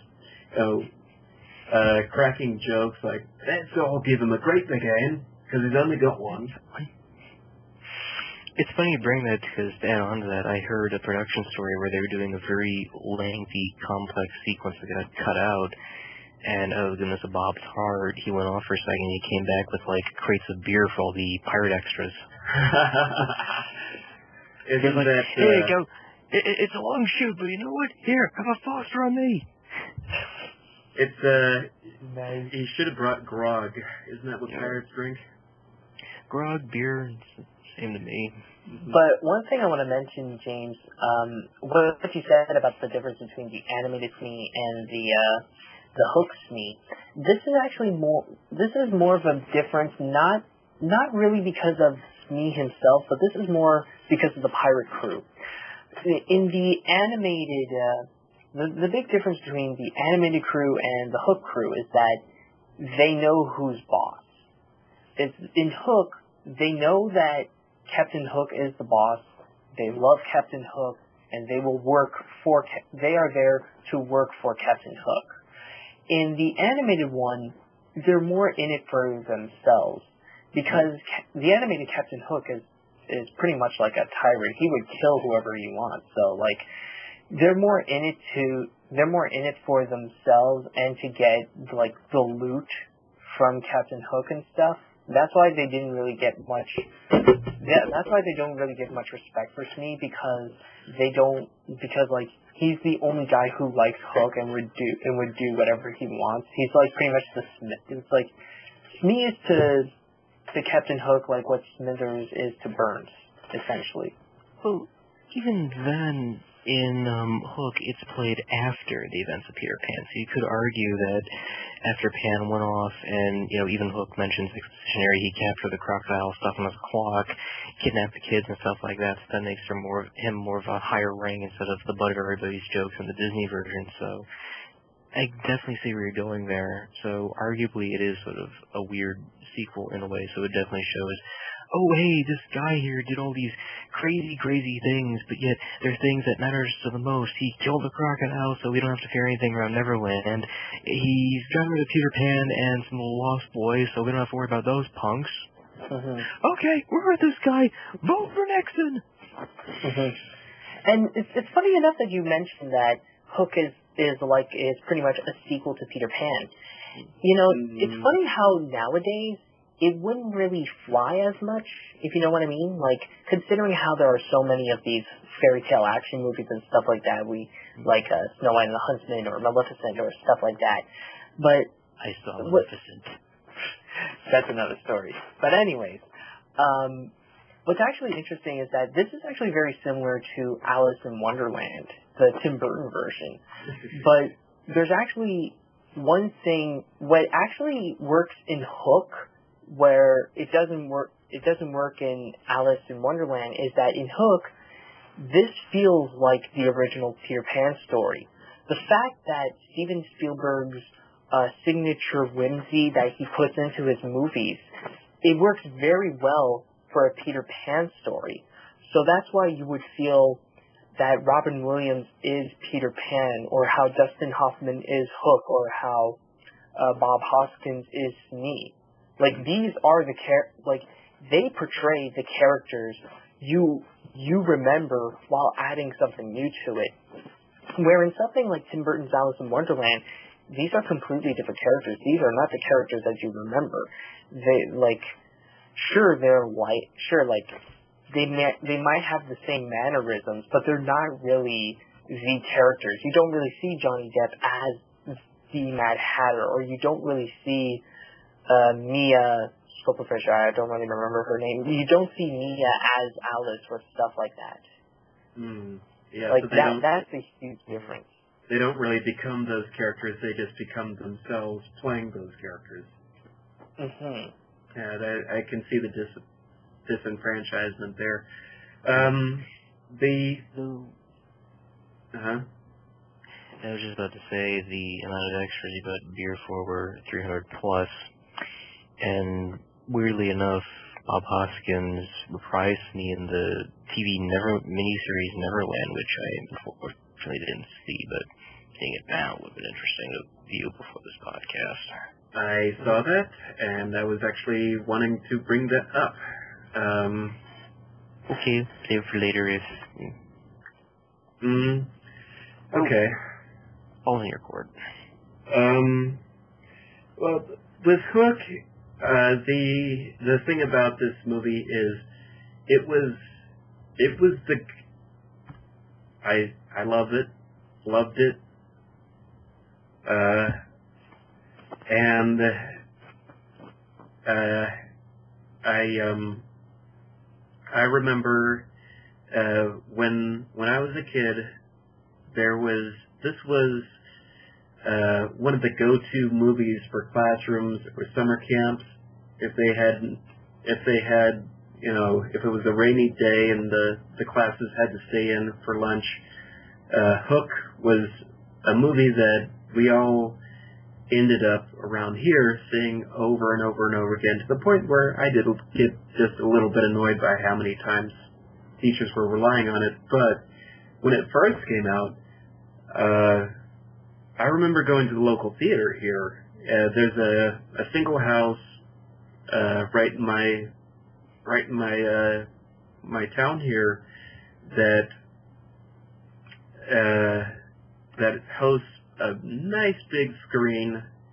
And when we went to go see Hook, I was see I was around let's see 1992. I was probably about eight years old, And there That movie was came out in 1991. 1991, seven. Anyway, there was uh, a line halfway around that building,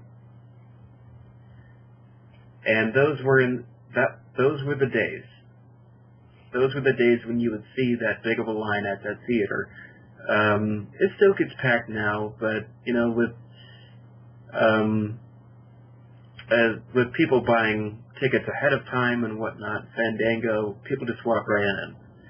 So nowadays, so um, with uh, with that in mind, that's how popular this movie was, and it uh, it um, it pains me to see to come to this realization that critics hated it. I was I was shocked to find that out. Look, you look at Rotten Tomatoes um, for for one as a as an example, but Siskel and Ebert gave it two thumbs down. They really tore that apart. They said they said this is a a very miserable looking looking Neverland. They said they said they complain about how uh, how when Peter is first coming to, to Neverland, when he's soaring over the the set, the model piece that's supposed to represent Neverland, how it looks all beautiful and green and lush, and then he, they said when they when they land there, everything looks very very Desert. desert, desolate, and that was that was one of their big nitpicks about it. It should be all blue and green and mystic and like. Mm-hmm. Yeah, I actually have the quote here. I have like the quote that Roger Ebert wrote for the Chicago Sun Times. Here we get the uncanny suspicion that Hook was written and directed according to the famous recipe of the country pe- preacher who told the folks what he was going to tell them, told them, and then told them what he had to he had told them. Huh? What? Did you read that right? Okay, hold Okay, I'll read this again because even you. I'm lost. Hold on. Oh, you're looking at Rotten Here we Tomatoes. get the uncanny get the spam. suspicion that Hook was written and directed according to the famous recipe of the country preacher who told the folks what he was going to tell them, told them, and then told them what he had told them. So they told him, he taught him and told him to them? Hold on, hold on. Here, let me. Here, I'm gonna give it to you guys. Tommy tied him stick two T's, tied him to the top of two tall trees. Here we get the uncanny suspicion that Hook was written and directed according to the famous recipe of the country preacher who told the folks what he was going to tell them, told them, and then told them what he had told them. Huh? That's a Maybe tongue it's the way I read it. I don't know. I, it, it, it makes no sense, uh, to me either way. I have no shits to give about that opinion. Yeah. Uh, Anyway, well, this is one of the. It, it is a very rare moment when critic when what critics say, uh, the reputation of what of what the movie became became becomes completely completely the opposite of what what well, uh, n- Sorry, I was old. Maleficent Maleficent is brand new. Give it time. Wait till we see. Anyways, 50% on Rotten Tomatoes, 75% from its audience. I predict the future.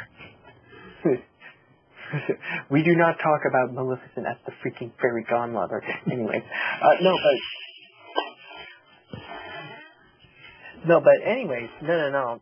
Like, it's very rare when we would see, uh, like I said, it's very rare when we would see um, movies that ended up getting the opposite reaction to what critics say. And pretty much Hook has become a major cult classic, like mostly beloved by kids. And now that these kids are grown up, this is pretty much dominantly known to be pretty good. yeah, I mean, uh, according to the critic rating, it's, uh, on here it's 31%. According to audiences, though, 76%. Hmm Personally, I would place it a little bit higher for nostalgic points, but you know what? It's uh, uh this, this is uh, this is uh, this is Peter Pan to me. hmm Um, I mean, I It think- captures the feeling of Peter Pan. So, even considering Steven Spielberg was going to do a Peter Pan movie, but um, Family Matters came about. He had his new kid and decided to focus on that. So they bounced around trying to find a new director, and then they came with the idea of Peter Pan being grown up. And they went back to Spielberg to do a Peter Pan movie. He said, "I don't think I can do it. I already expressed my childhood in Empire of the Sun. Thank you very much." And then they gave him the idea, and he went with it. Uh, here's here's one review. Uh, it says Hook breaks the cardinal rule of J. M. Barrie's timeless fantasy. It grows up. Screw you. It grows down. wait, who said was. that? Marjorie Baumgarten. Hiroshima. Oh, there we go. Oh, there it is. From the Austin Austin Chronicle. How the heck can you get away with a foreign name, name like Marjorie and freaking Austin? Ethan had it up. This movie, I, I find it fascinating. Uh, um, one of the great bits of trivia about it actually intersects with one thing that I, I kind of love about it, how brave it is. Um, even for even for a fantasy, this was one of the last times that you fell in love with a kid character on screen and or sort of fell in love with them and had them killed off at the end by a, a hook who's actually very uh, who's who's actually very brazen Spoiler alert, they do in the video game too. and um, uh, that you know this is a guy who uh, who ends up shooting his own one of his own guys by accident and uh, uh, it doesn't give a shit. So uh, this is a this is a very tough hook. But the the fun bit of trivia I was going to say was I I always wondered about the guy that they put in the in the scorpion box. I had always wondered about, and some of you guys might know what I'm about to say. I always said, "Wow, that guy was a really great actor." You really, you really felt that he he uh, he sold that. He's going places. Years later, I find out it's not a he.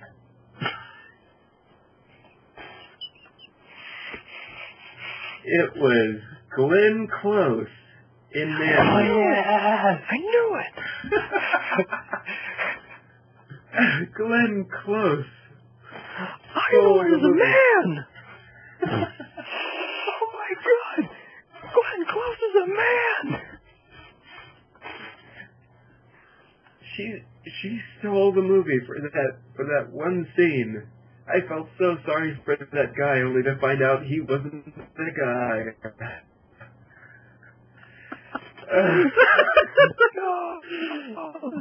Oh my God. Oh my god. dude. Wow. You know, funny enough, it actually this actually reminds me of um Pirates Band of Misfits, where like there's one pirate, where there is one pirate girl who tries so hard to like with the beard. Except here that it was for realsies. Yeah, really. Um, but yeah, this uh, this this movie I I have I, I couldn't be better. Uh, Mike, you haven't said much about it, I don't think. I was gonna tell you guys that I have not seen Hook, and based on what I hear, I might as well check the fucker out. Okay. That is your just- assignment after this. Go do it. It's it's my homework to do that. Yes. Okay, I know what I'm sending your way. Um, there is one more thing that I want to add before we move on. There is one thing I want to add about Hook, and this is just a personal thing because there's this one scene that I always remember from Hook. It is, for me, it's one of the funniest moments I've ever seen in a movie. It's in you guys. You might you guys might know what it is. It's in the baseball scene. No, it's in the baseball scene, and like and what happened was pretty much it, it, it's the scene where like um where Hook is trying to bond with Peter Pan's son that he could play ba- the like he's the star player. And there was at one point like they were like the pirates were playing baseball and then like one of the pirates was like just like he was running and playing the game and then one of the pirates in the audience that guy is stealing third base I just love that scene. It is amazing. It's just like out of a Disney cartoon. Exactly. And then after somebody after somebody just died right in front of them, they they go on about the scene like, oh, business as usual. No, we're not going to do that.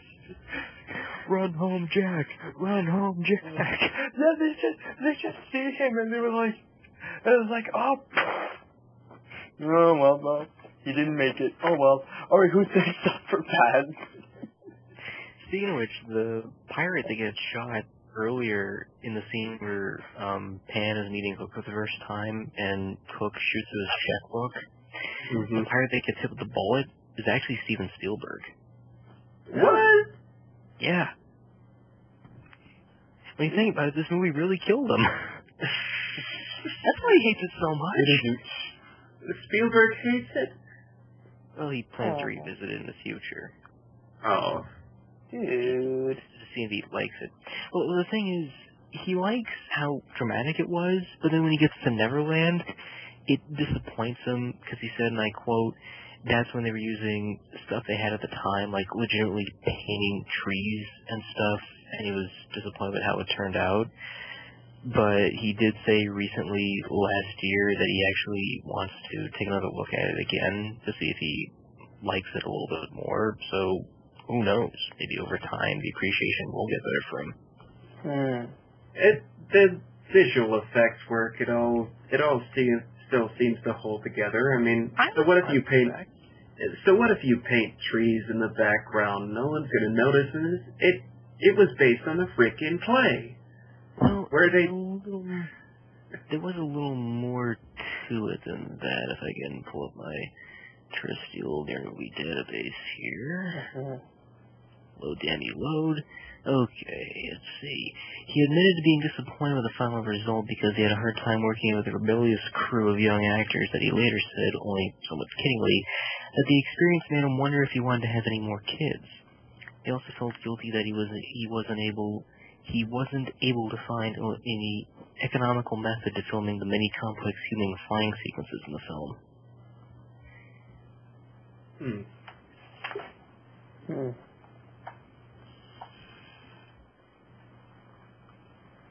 Got nothing. So, anything, is any, anything else about Hook you want to wrap up before we moving on to the next film? Uh, yeah. Um, does anyone know why the the catchphrase "bangarang" didn't catch on? Um, it was in a Coke commercial. and didn't you, um, did you, actually, um, Skrillex made a song called Bangarang. Oh, there was. Mm-hmm. Hmm. Yeah, check it out. You That- you know, you should check it out because the music video kind of reference uh, uh, Peter Pan and Captain uh, Hook, so it was kind of pretty cool. Oh, the. Uh, I thought. I well, was this the movie that coined that, or? Yeah, it was. Yeah, yeah, that's where he took he took the uh, phrase right from not the phrase from the movie, but he took the. I think he did. He think he took the sampling from the movie actually into the song. Yeah, Yeah, Okay. but um. All right. Then yeah, when you guys have the chance. It's only 30 seconds, so what the hell? Let me see. Oh, Peter Pan. Coco- oh, okay. Oh, Brought to you by Forget That Man. Coca Cola sponsor Cinema Royale.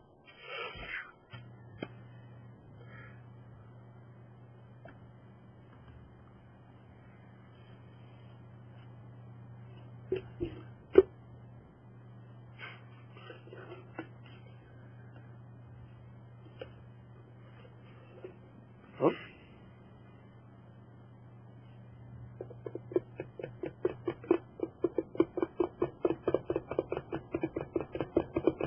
Huh. At least Hook got one. For my resources, that's directed by Steve Barron, who did a couple of Michael Jackson videos like mm, Beat It, if I no no Billie Jean, if I recall. Hmm. Interesting. And he also he also directed Coneheads, a few episodes of Jim Henson's Storyteller, and I believe more recently Rat a few years back. Oh. Oh, okay. Oh, and also the original uh, Teenage Mutant Ninja Turtles movie, but moving on. hmm Let me get into the next film, and let me get a little backstory on this film. Uh, came out two years after Hook. Uh, think about it in James's perspective. He would have been nine years old, I would believe, when it came out. And we briefly mentioned this on a previous episode, very briefly actually, because I just listened to it as you guys were talking, and it was like like three minutes we talked about it. We didn't even mention a lot about the film. Morgan? You know what I'm about to say.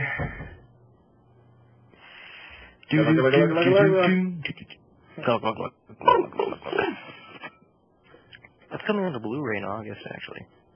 Yeah, I, yeah, I I actually heard that they're uh, bringing it back. Actually, oddly enough. In Yeah. the UK, sadly.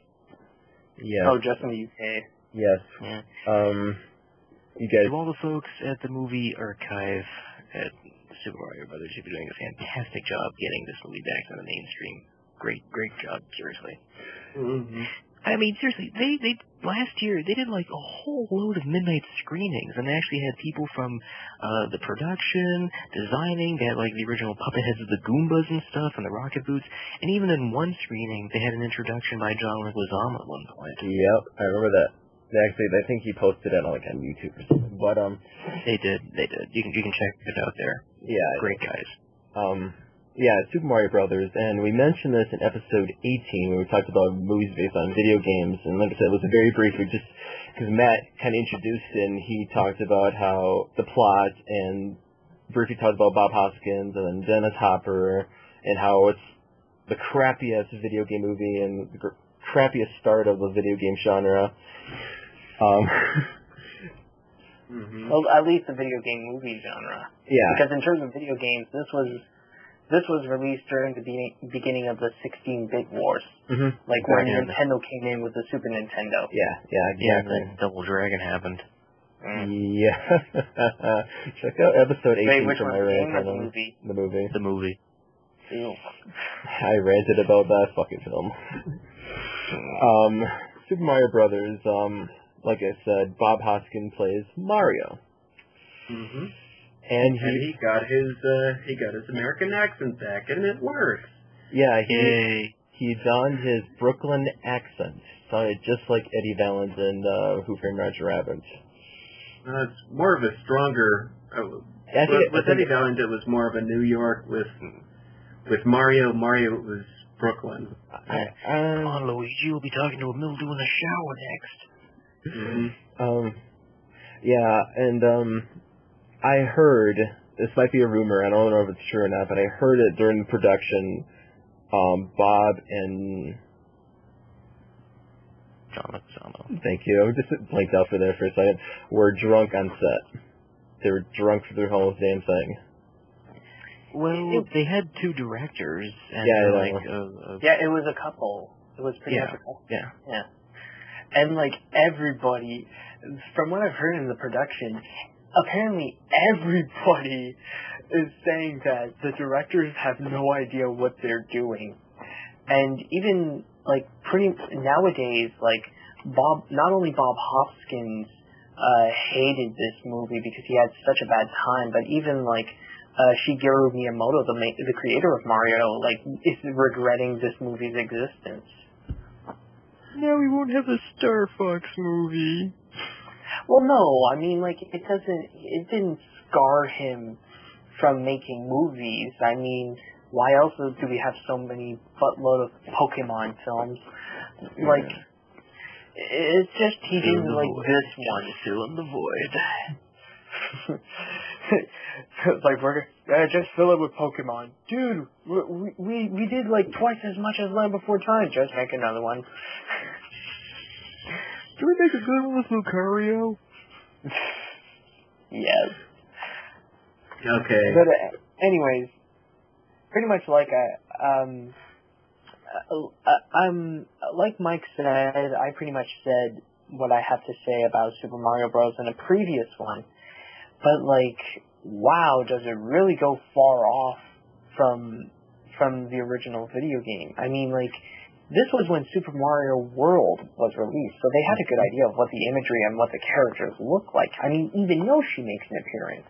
Yeah. Because like, it's like, I guess loosely based, but wow, this, unlike Hook, where it does feel like Peter Pan, this does not feel like Super Mario Brothers at all. There is no sense of whimsy or fantasy. This is like, this is like, uh, like punk, like '90s punk, essentially. Mhm. This is like where, where like, I, I'd say it's more cyberpunkish, like Max Headroom. well, Headroom. like some kind of punk, you know? Well, of course it was Max Headroom because the directors were behind Max Headroom. Hmm So Well, that's the reason they were in. that's why and- the influence came from. Well, you know, wh- while you guys were talking in Hook, it was actually really interesting to find that um, I actually looked at the casting, and you would be surprised about the people who were supposed to be uh, the characters. They were supposed to have either Danny DeVito or Tom Hanks hmm uh, wanted to be, wa- uh, supposed Mario. to be Mario, but Yep. Tom Hanks was too expensive, and Danny DeVito, uh, he wanted to read the script before doing it. Du- and Dustin apparently- Hoffman.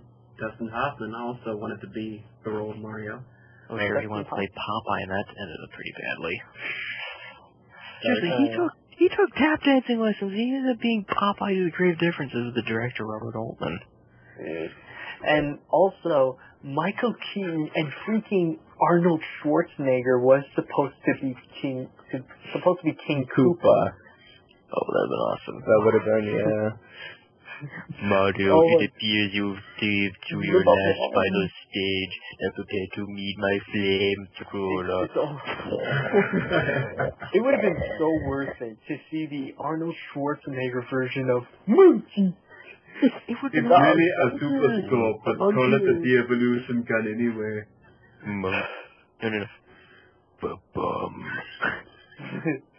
Ba-bum. Ba-bum! It's a ba-bum!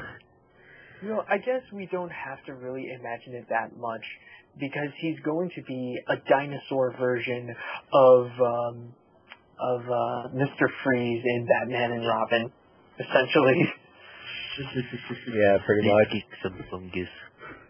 Um, So, uh, to confirm your uh, uh, your suspicion, Matt, it says here in his 2007 autobiography, John Leguizamo states that he and Bob Hoskins hated working on the film and would frequently get drunk to make Yeah. it through the experience. all right, that's what I thought.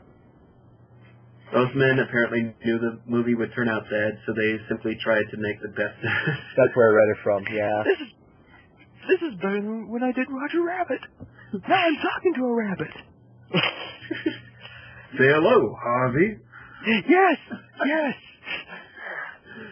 Um, Bob Hos- Is Eddie Wrong Rabbit? Bob Hoskins said that this is the worst film he ever made. His son Jack Hoskins is a fan of the film, praising his dad's performance. He said he was too young to understand the bad reviews, and now that he's old enough, he doesn't care. You know what? I rewatched this movie not too too long ago.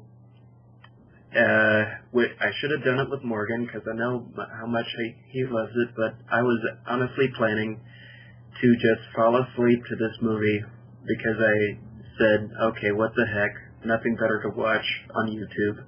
And then I find myself, I find myself just up watching the whole thing. And I said to myself, oh my goodness, it, it, it is, it is so wrong in so many ways. It is so, it is such a terrible adaptation of the game, and yet I can't hate it. I really can't because um, it is uh, it, it I I guess you could call it a guilty pleasure. It is it is so much effort and so much creativity put into some other some other kind of movie that uh, they they shouldn't have called it Super Mario Brothers. They could have called it uh, uh, Eddie Valiant versus the Lizard Man. that would have really that would have really wound up in the streets. uh,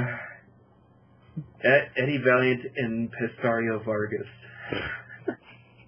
No, it's Eddie Valiant and Sid. Plumbers versus Dino Men.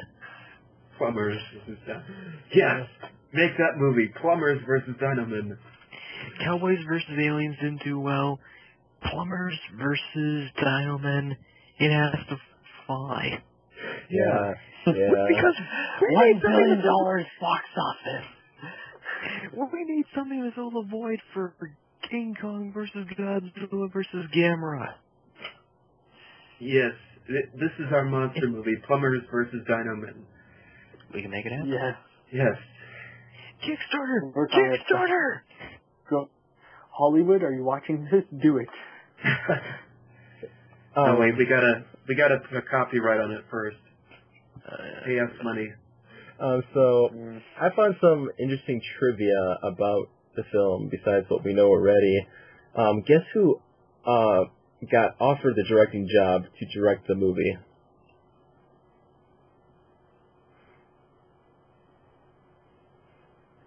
Hmm.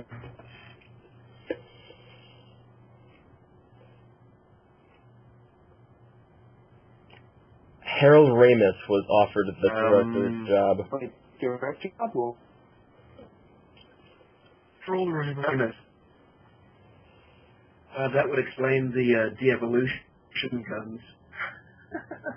He he he's a fan of the They just game. painted over Couldn't proton the pack. No, they're just they're just painted over proton packs, you know. Mm-hmm. we ain't bringing no turds. Go cross the stream. Go cross the stream. Oh god. Um, My god, this ranks number 10 on the shit meter. Oh boy. um, yeah. Super Mario Bros. will always be my so bad it's good guilty pleasure film. I just I could watch it every day for the rest of my life and be happy. You know they're doing a fan comic sequel. Yes, I was gonna mention that sometime. Yes, they're doing a fan comic sequel. Yeah, because of course. I haven't seen it yet, but I am curious. yeah, they um, I saw like preview pictures, like you know, it was like uh, a draft of it. It was pretty interesting, good drawing. Um, yeah, because they're doing the comic sequel because at the end of the movie they did uh sequel bait.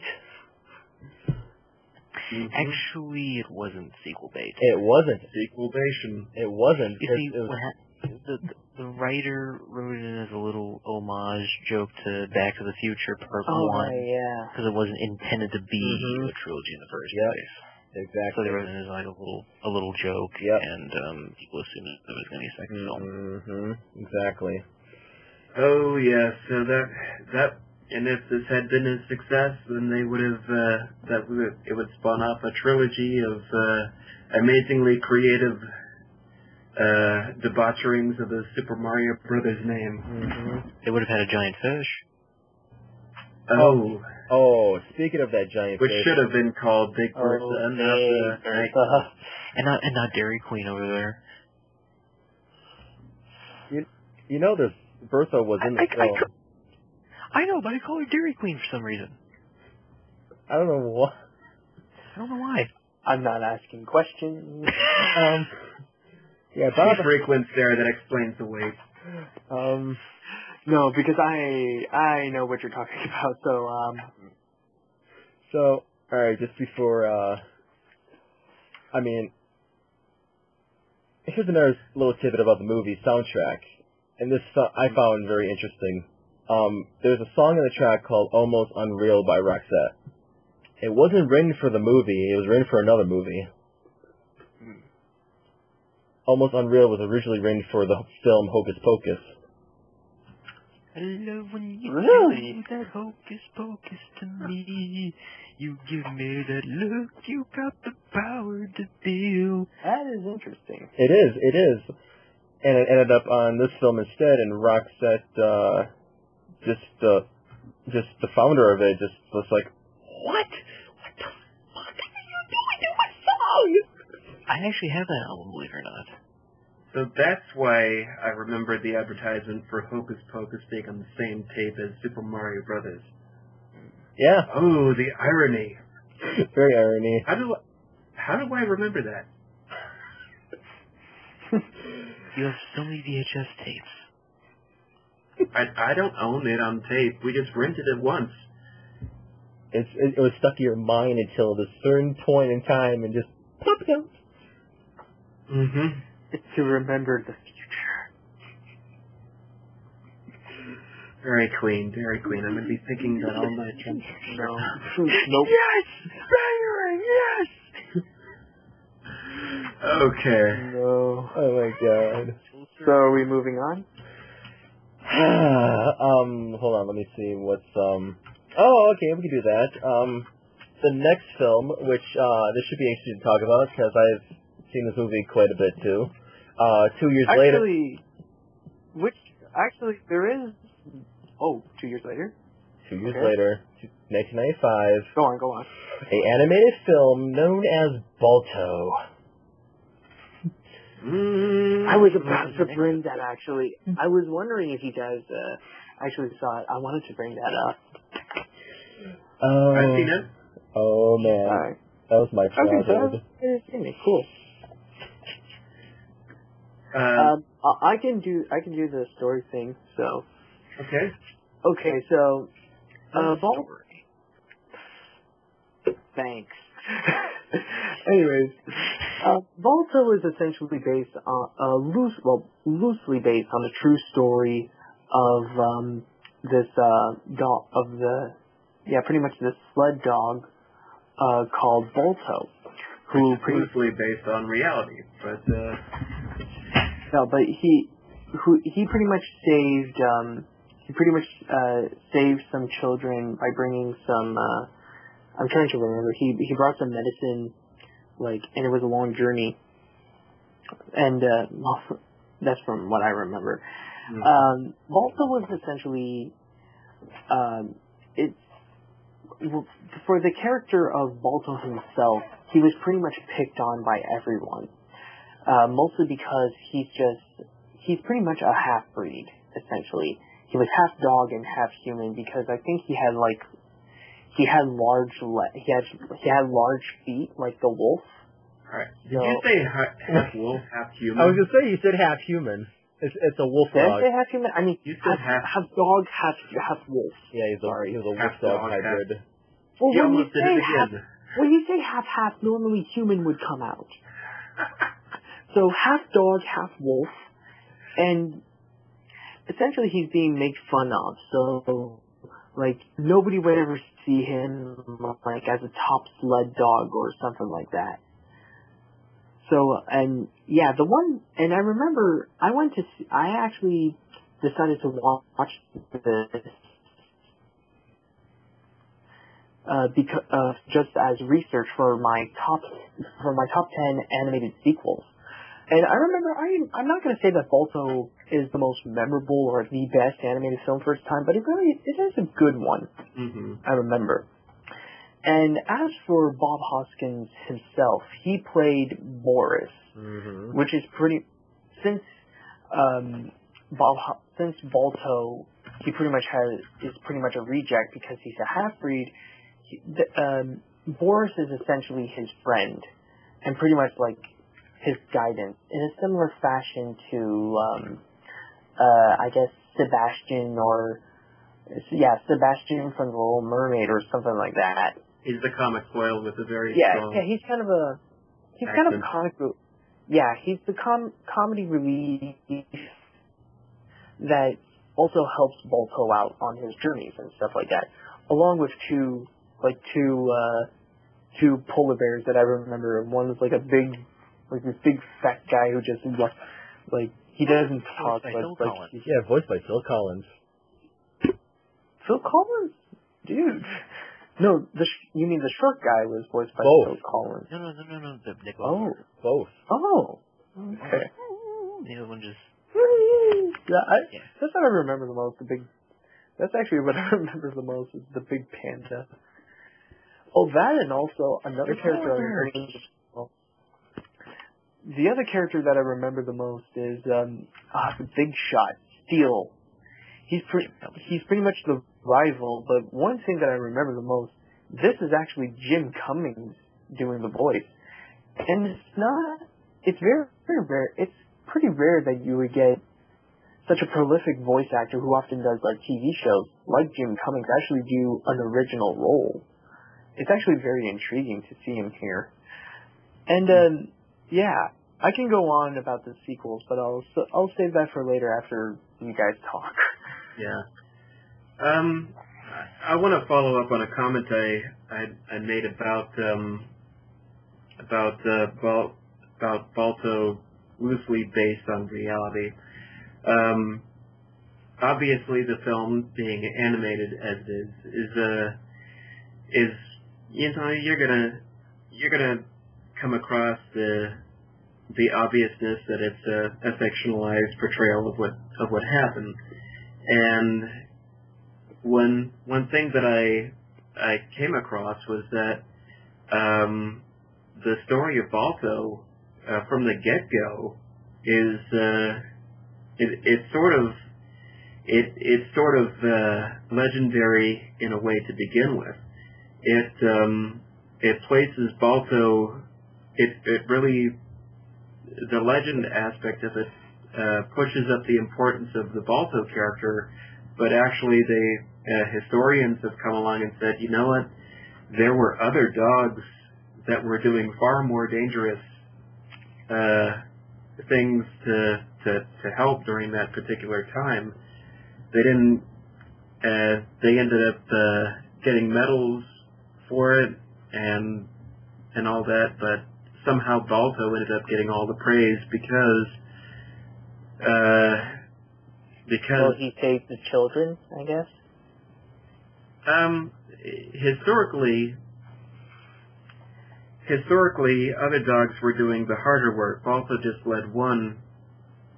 Um, uh, there were other dogs that there were other dogs out there that were doing uh, more work than him, but he was he was favored because the public mainly liked his story. You know, coming from humble half-breed origins.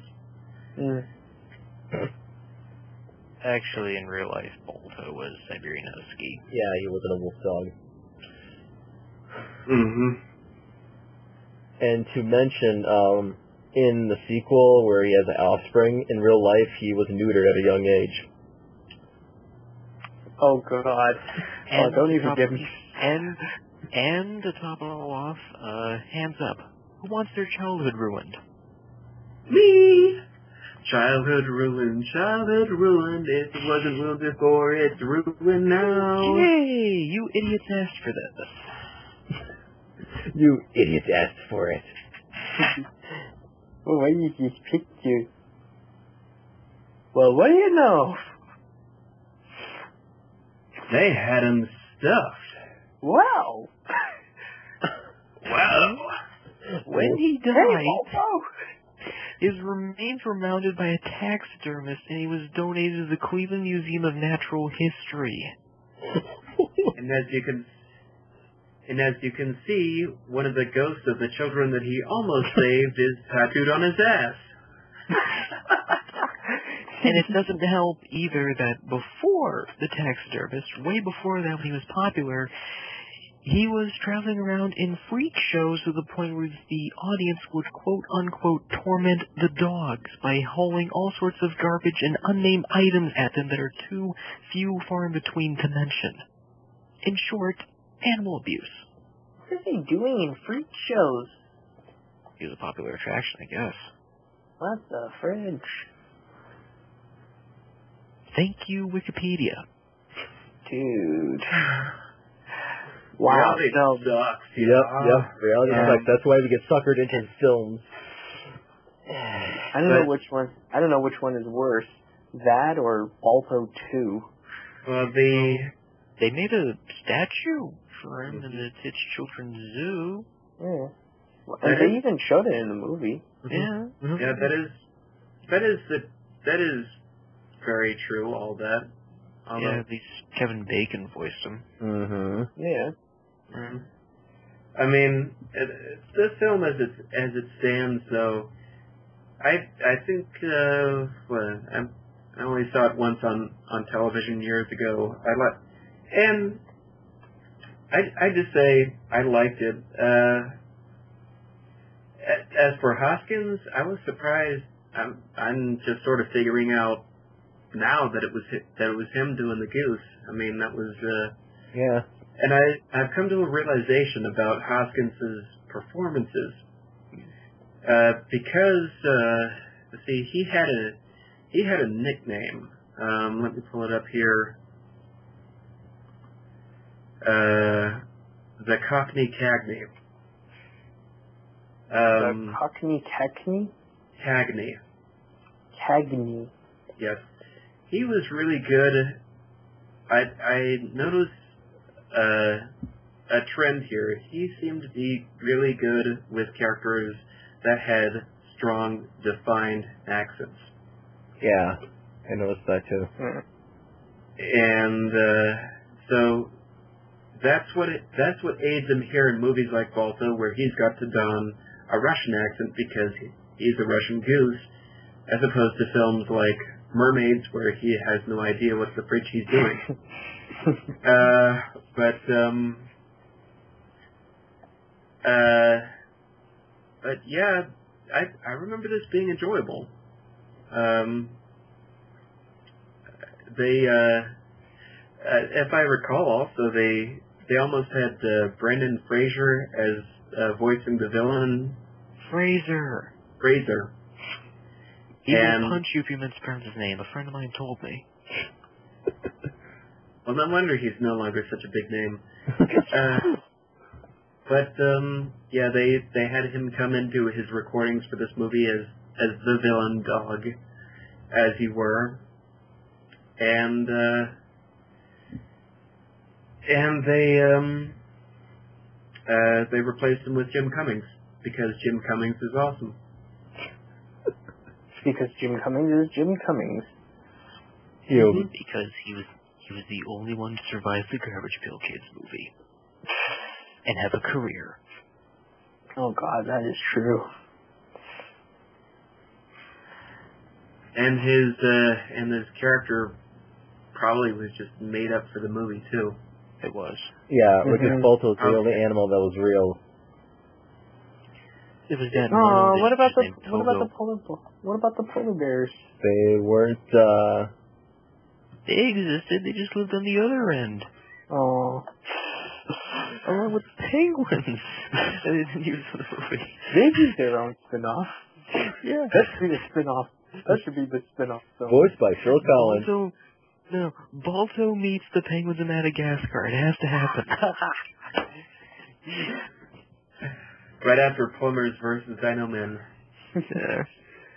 Why is he? Hey, so why is this penguin here with holding dynamite? This is Also, no great. Also, did you order dynamite here? I believe we're the ones who ordered the dynamite. Because you stand back, it's gonna blow up. No, I know you're excited for November. yeah, kind of, honestly. Okay. Yeah, the the film the film is uh it's a it's a Disney clone. Mm-hmm. I I think that's why they that's why they have the It's other characters clone. in there. But it's okay. Mhm. Yeah. It's A-okay. It's, it's been a long time since I've seen it. The only things I remember you know, there are some things in the film I do appreciate animation-wise. It's directed by Simon Wells. Mhm. Um, it's one of the last by Amblimation. It sadly didn't catch on that far. I did see Zen Sears as a kid, and I remember enjoying it, and I did watch it a lot on home video, and it was a staple on Cartoon Network, so its popularity, you know, really shows. Mhm.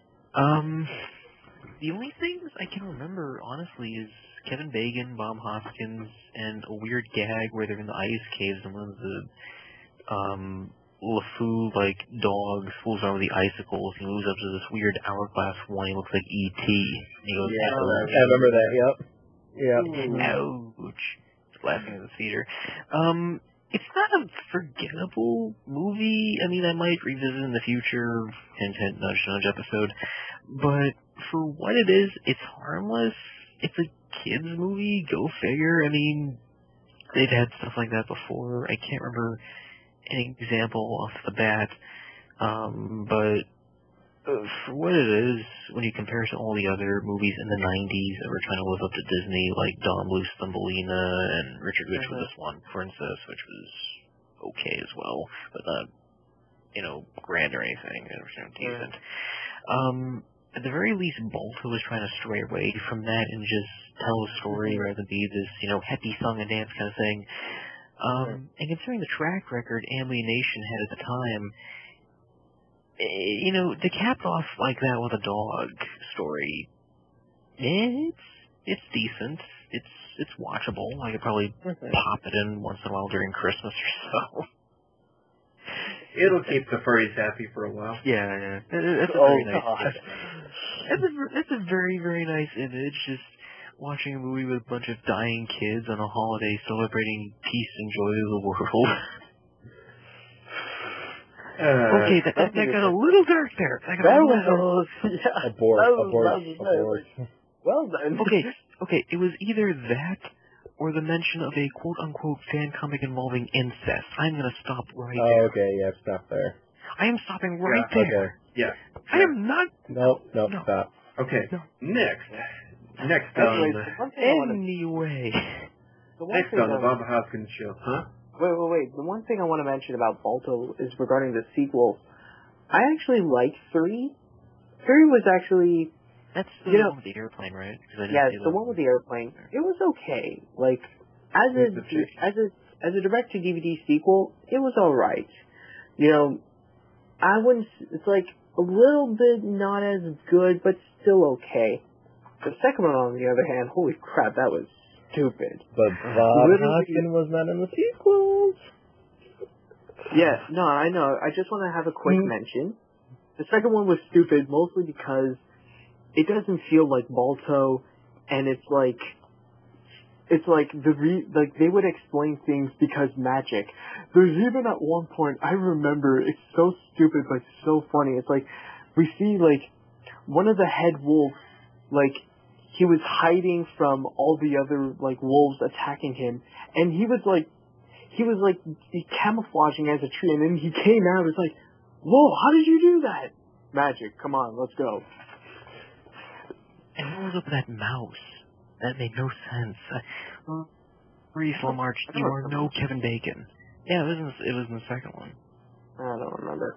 It was like that weird scene where he's taking her daughter into this cavern, like, oh, we're all part of the system and stuff, and had this weird song sequence. I don't really remember much. Anyways, um, Also okay. Has a Jump on 50 iceberg. also has a 50% on the tomato meter. It's higher than Hook. How is that possible? Well, it's no better than Laser Blast. Well, Rotten Tomatoes is not considered the most viable source for for like ratings and stuff like that. Okay, well. Moving on. Uh, So- the next one, I want to. I I was gonna ask what film do you want to jump into? Cause I want to mention a cameo. Spice World. No. Yeah, he was, I was just he was in Spice World as a cameo. I was Oh, like yeah. so. as I, Peter Spice I in was so disguise, surprised. which makes I was surprised I- when I saw him when I saw that there. I was like, okay, I don't Because all I remember, remember that go on. I No, I just see it. I only remember like like that big fad at one point in the nineties where like Sp- the Spice Girls were so big, and they even got their own movie. Like mostly, they were they were mostly huge. The only one that I remember so far is just "Stop right now, thank you very much," and oh god, I don't even remember what Bob Hoskins did in this. I mean, I don't know. There was there had Yeah. there, there had to be some kind of scene where they all the Spice Girls were disguised as somebody trying to hide or something, and the Ginger Spice was like, "I'm Bob Hoskins." I knew. hold on. Um, I need to figure out the other disguises as well, but just or maybe it's just her. All I Oh, is no. the scene with the aliens groping on. That's about it. Technically, there are other like he's listed in the cameos w- along with Stephen Fry, Hugh Laurie, Jennifer Saunders, uh, Bob Geldof, Elton John, Elvis Costello as a bartender, and Jonathan Ross. Wow. So there must be a scene where they said disguises. I don't know. Yeah. we- Okay. We have to watch the movie to find out. I don't want to watch the movie again. No. Okay, moving on. All right. So Um, Meatloaf. the- you Hmm. guys take a film. Okay, I got it. Oh. Uh, I think I got one. I know what to talk about. the same year, the same year that Bob Hoskins was in Balto, uh, there was another short film that came out uh, the same year uh, called The Forgotten Toys, and this was something that uh, that uh, our friend uh, Michael Kimpton, aka VG Retro, introduced to me as his childhood favorite, or one of his childhood favorites. It's uh, it's Bob Hoskins and Joanna Lumley, uh, also known as um, Aunt Spiker in James of the Giant Peach. Work, work, work. Work, work, work, work, work. Whack, whack, whack, whack. Respectively playing a teddy bear and a little doll with pigtails named Annie. And the plot of this is the day after Christmas, uh, these two toys are thrown into the garbage garbage bins out on the street. They're thrown out by their owners, and the whole short is them is them trying to uh, uh, trying to stick together and find a new home. And uh, it, if you haven't seen this, I mean, th- this is a, a nice, touching little uh, piece of animation that was that was done in the mid '90s. It was it was something cute for its time, and it it does it does one of those curious uh, pull on the pull on the heartstrings that um, uh, that you'd expect from uh, a movie like this. Uh, two years later, it was followed up with uh, a sequel TV series. It, it got its own spin-off, and this is where uh, they got the cast back, Bob Hoskins and Joanna Lumley, and this time, now this is where things started to get a little bit redundant. I sat through every episode of this one season show just for you guys, and there's a reason why it lasted only one season. Because they couldn't think, because they couldn't think of anything fresh. Um, the uh, the uh, the whole see the whole plot of the first film was them trying to find an owners again. Spoiler alert, they do. Uh, and this time in the TV series, instead of being thrown out by their owners, it turns out they get separated from their owners, and the whole plot is they got lost in a they got uh, they got lost at uh, an airport, and they spend the whole season trying to get back home, which means for them going across the country. And while there are some some episodes of this that are fairly decent, it's it's a mostly passable follow-up. Not not at one point did I did I stop and feel any heartstrings. The animation was nice and all, and it was good to see them uh, coming back with the same level of chemistry. Uh, Bob Hoskins is a teddy bear. So little. a really, really tough standing teddy bear. You know, he talks like this all the time. I'm cute, cuddly. I hate sprouts. Come and hug me. I'm a cute little bloody teddy bear. I hate sprouts. Right? I am not as cuddly as you think.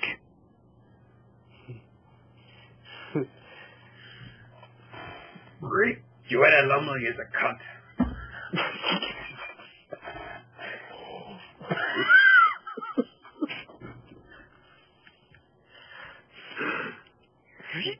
Keep John Leguizamo away from me.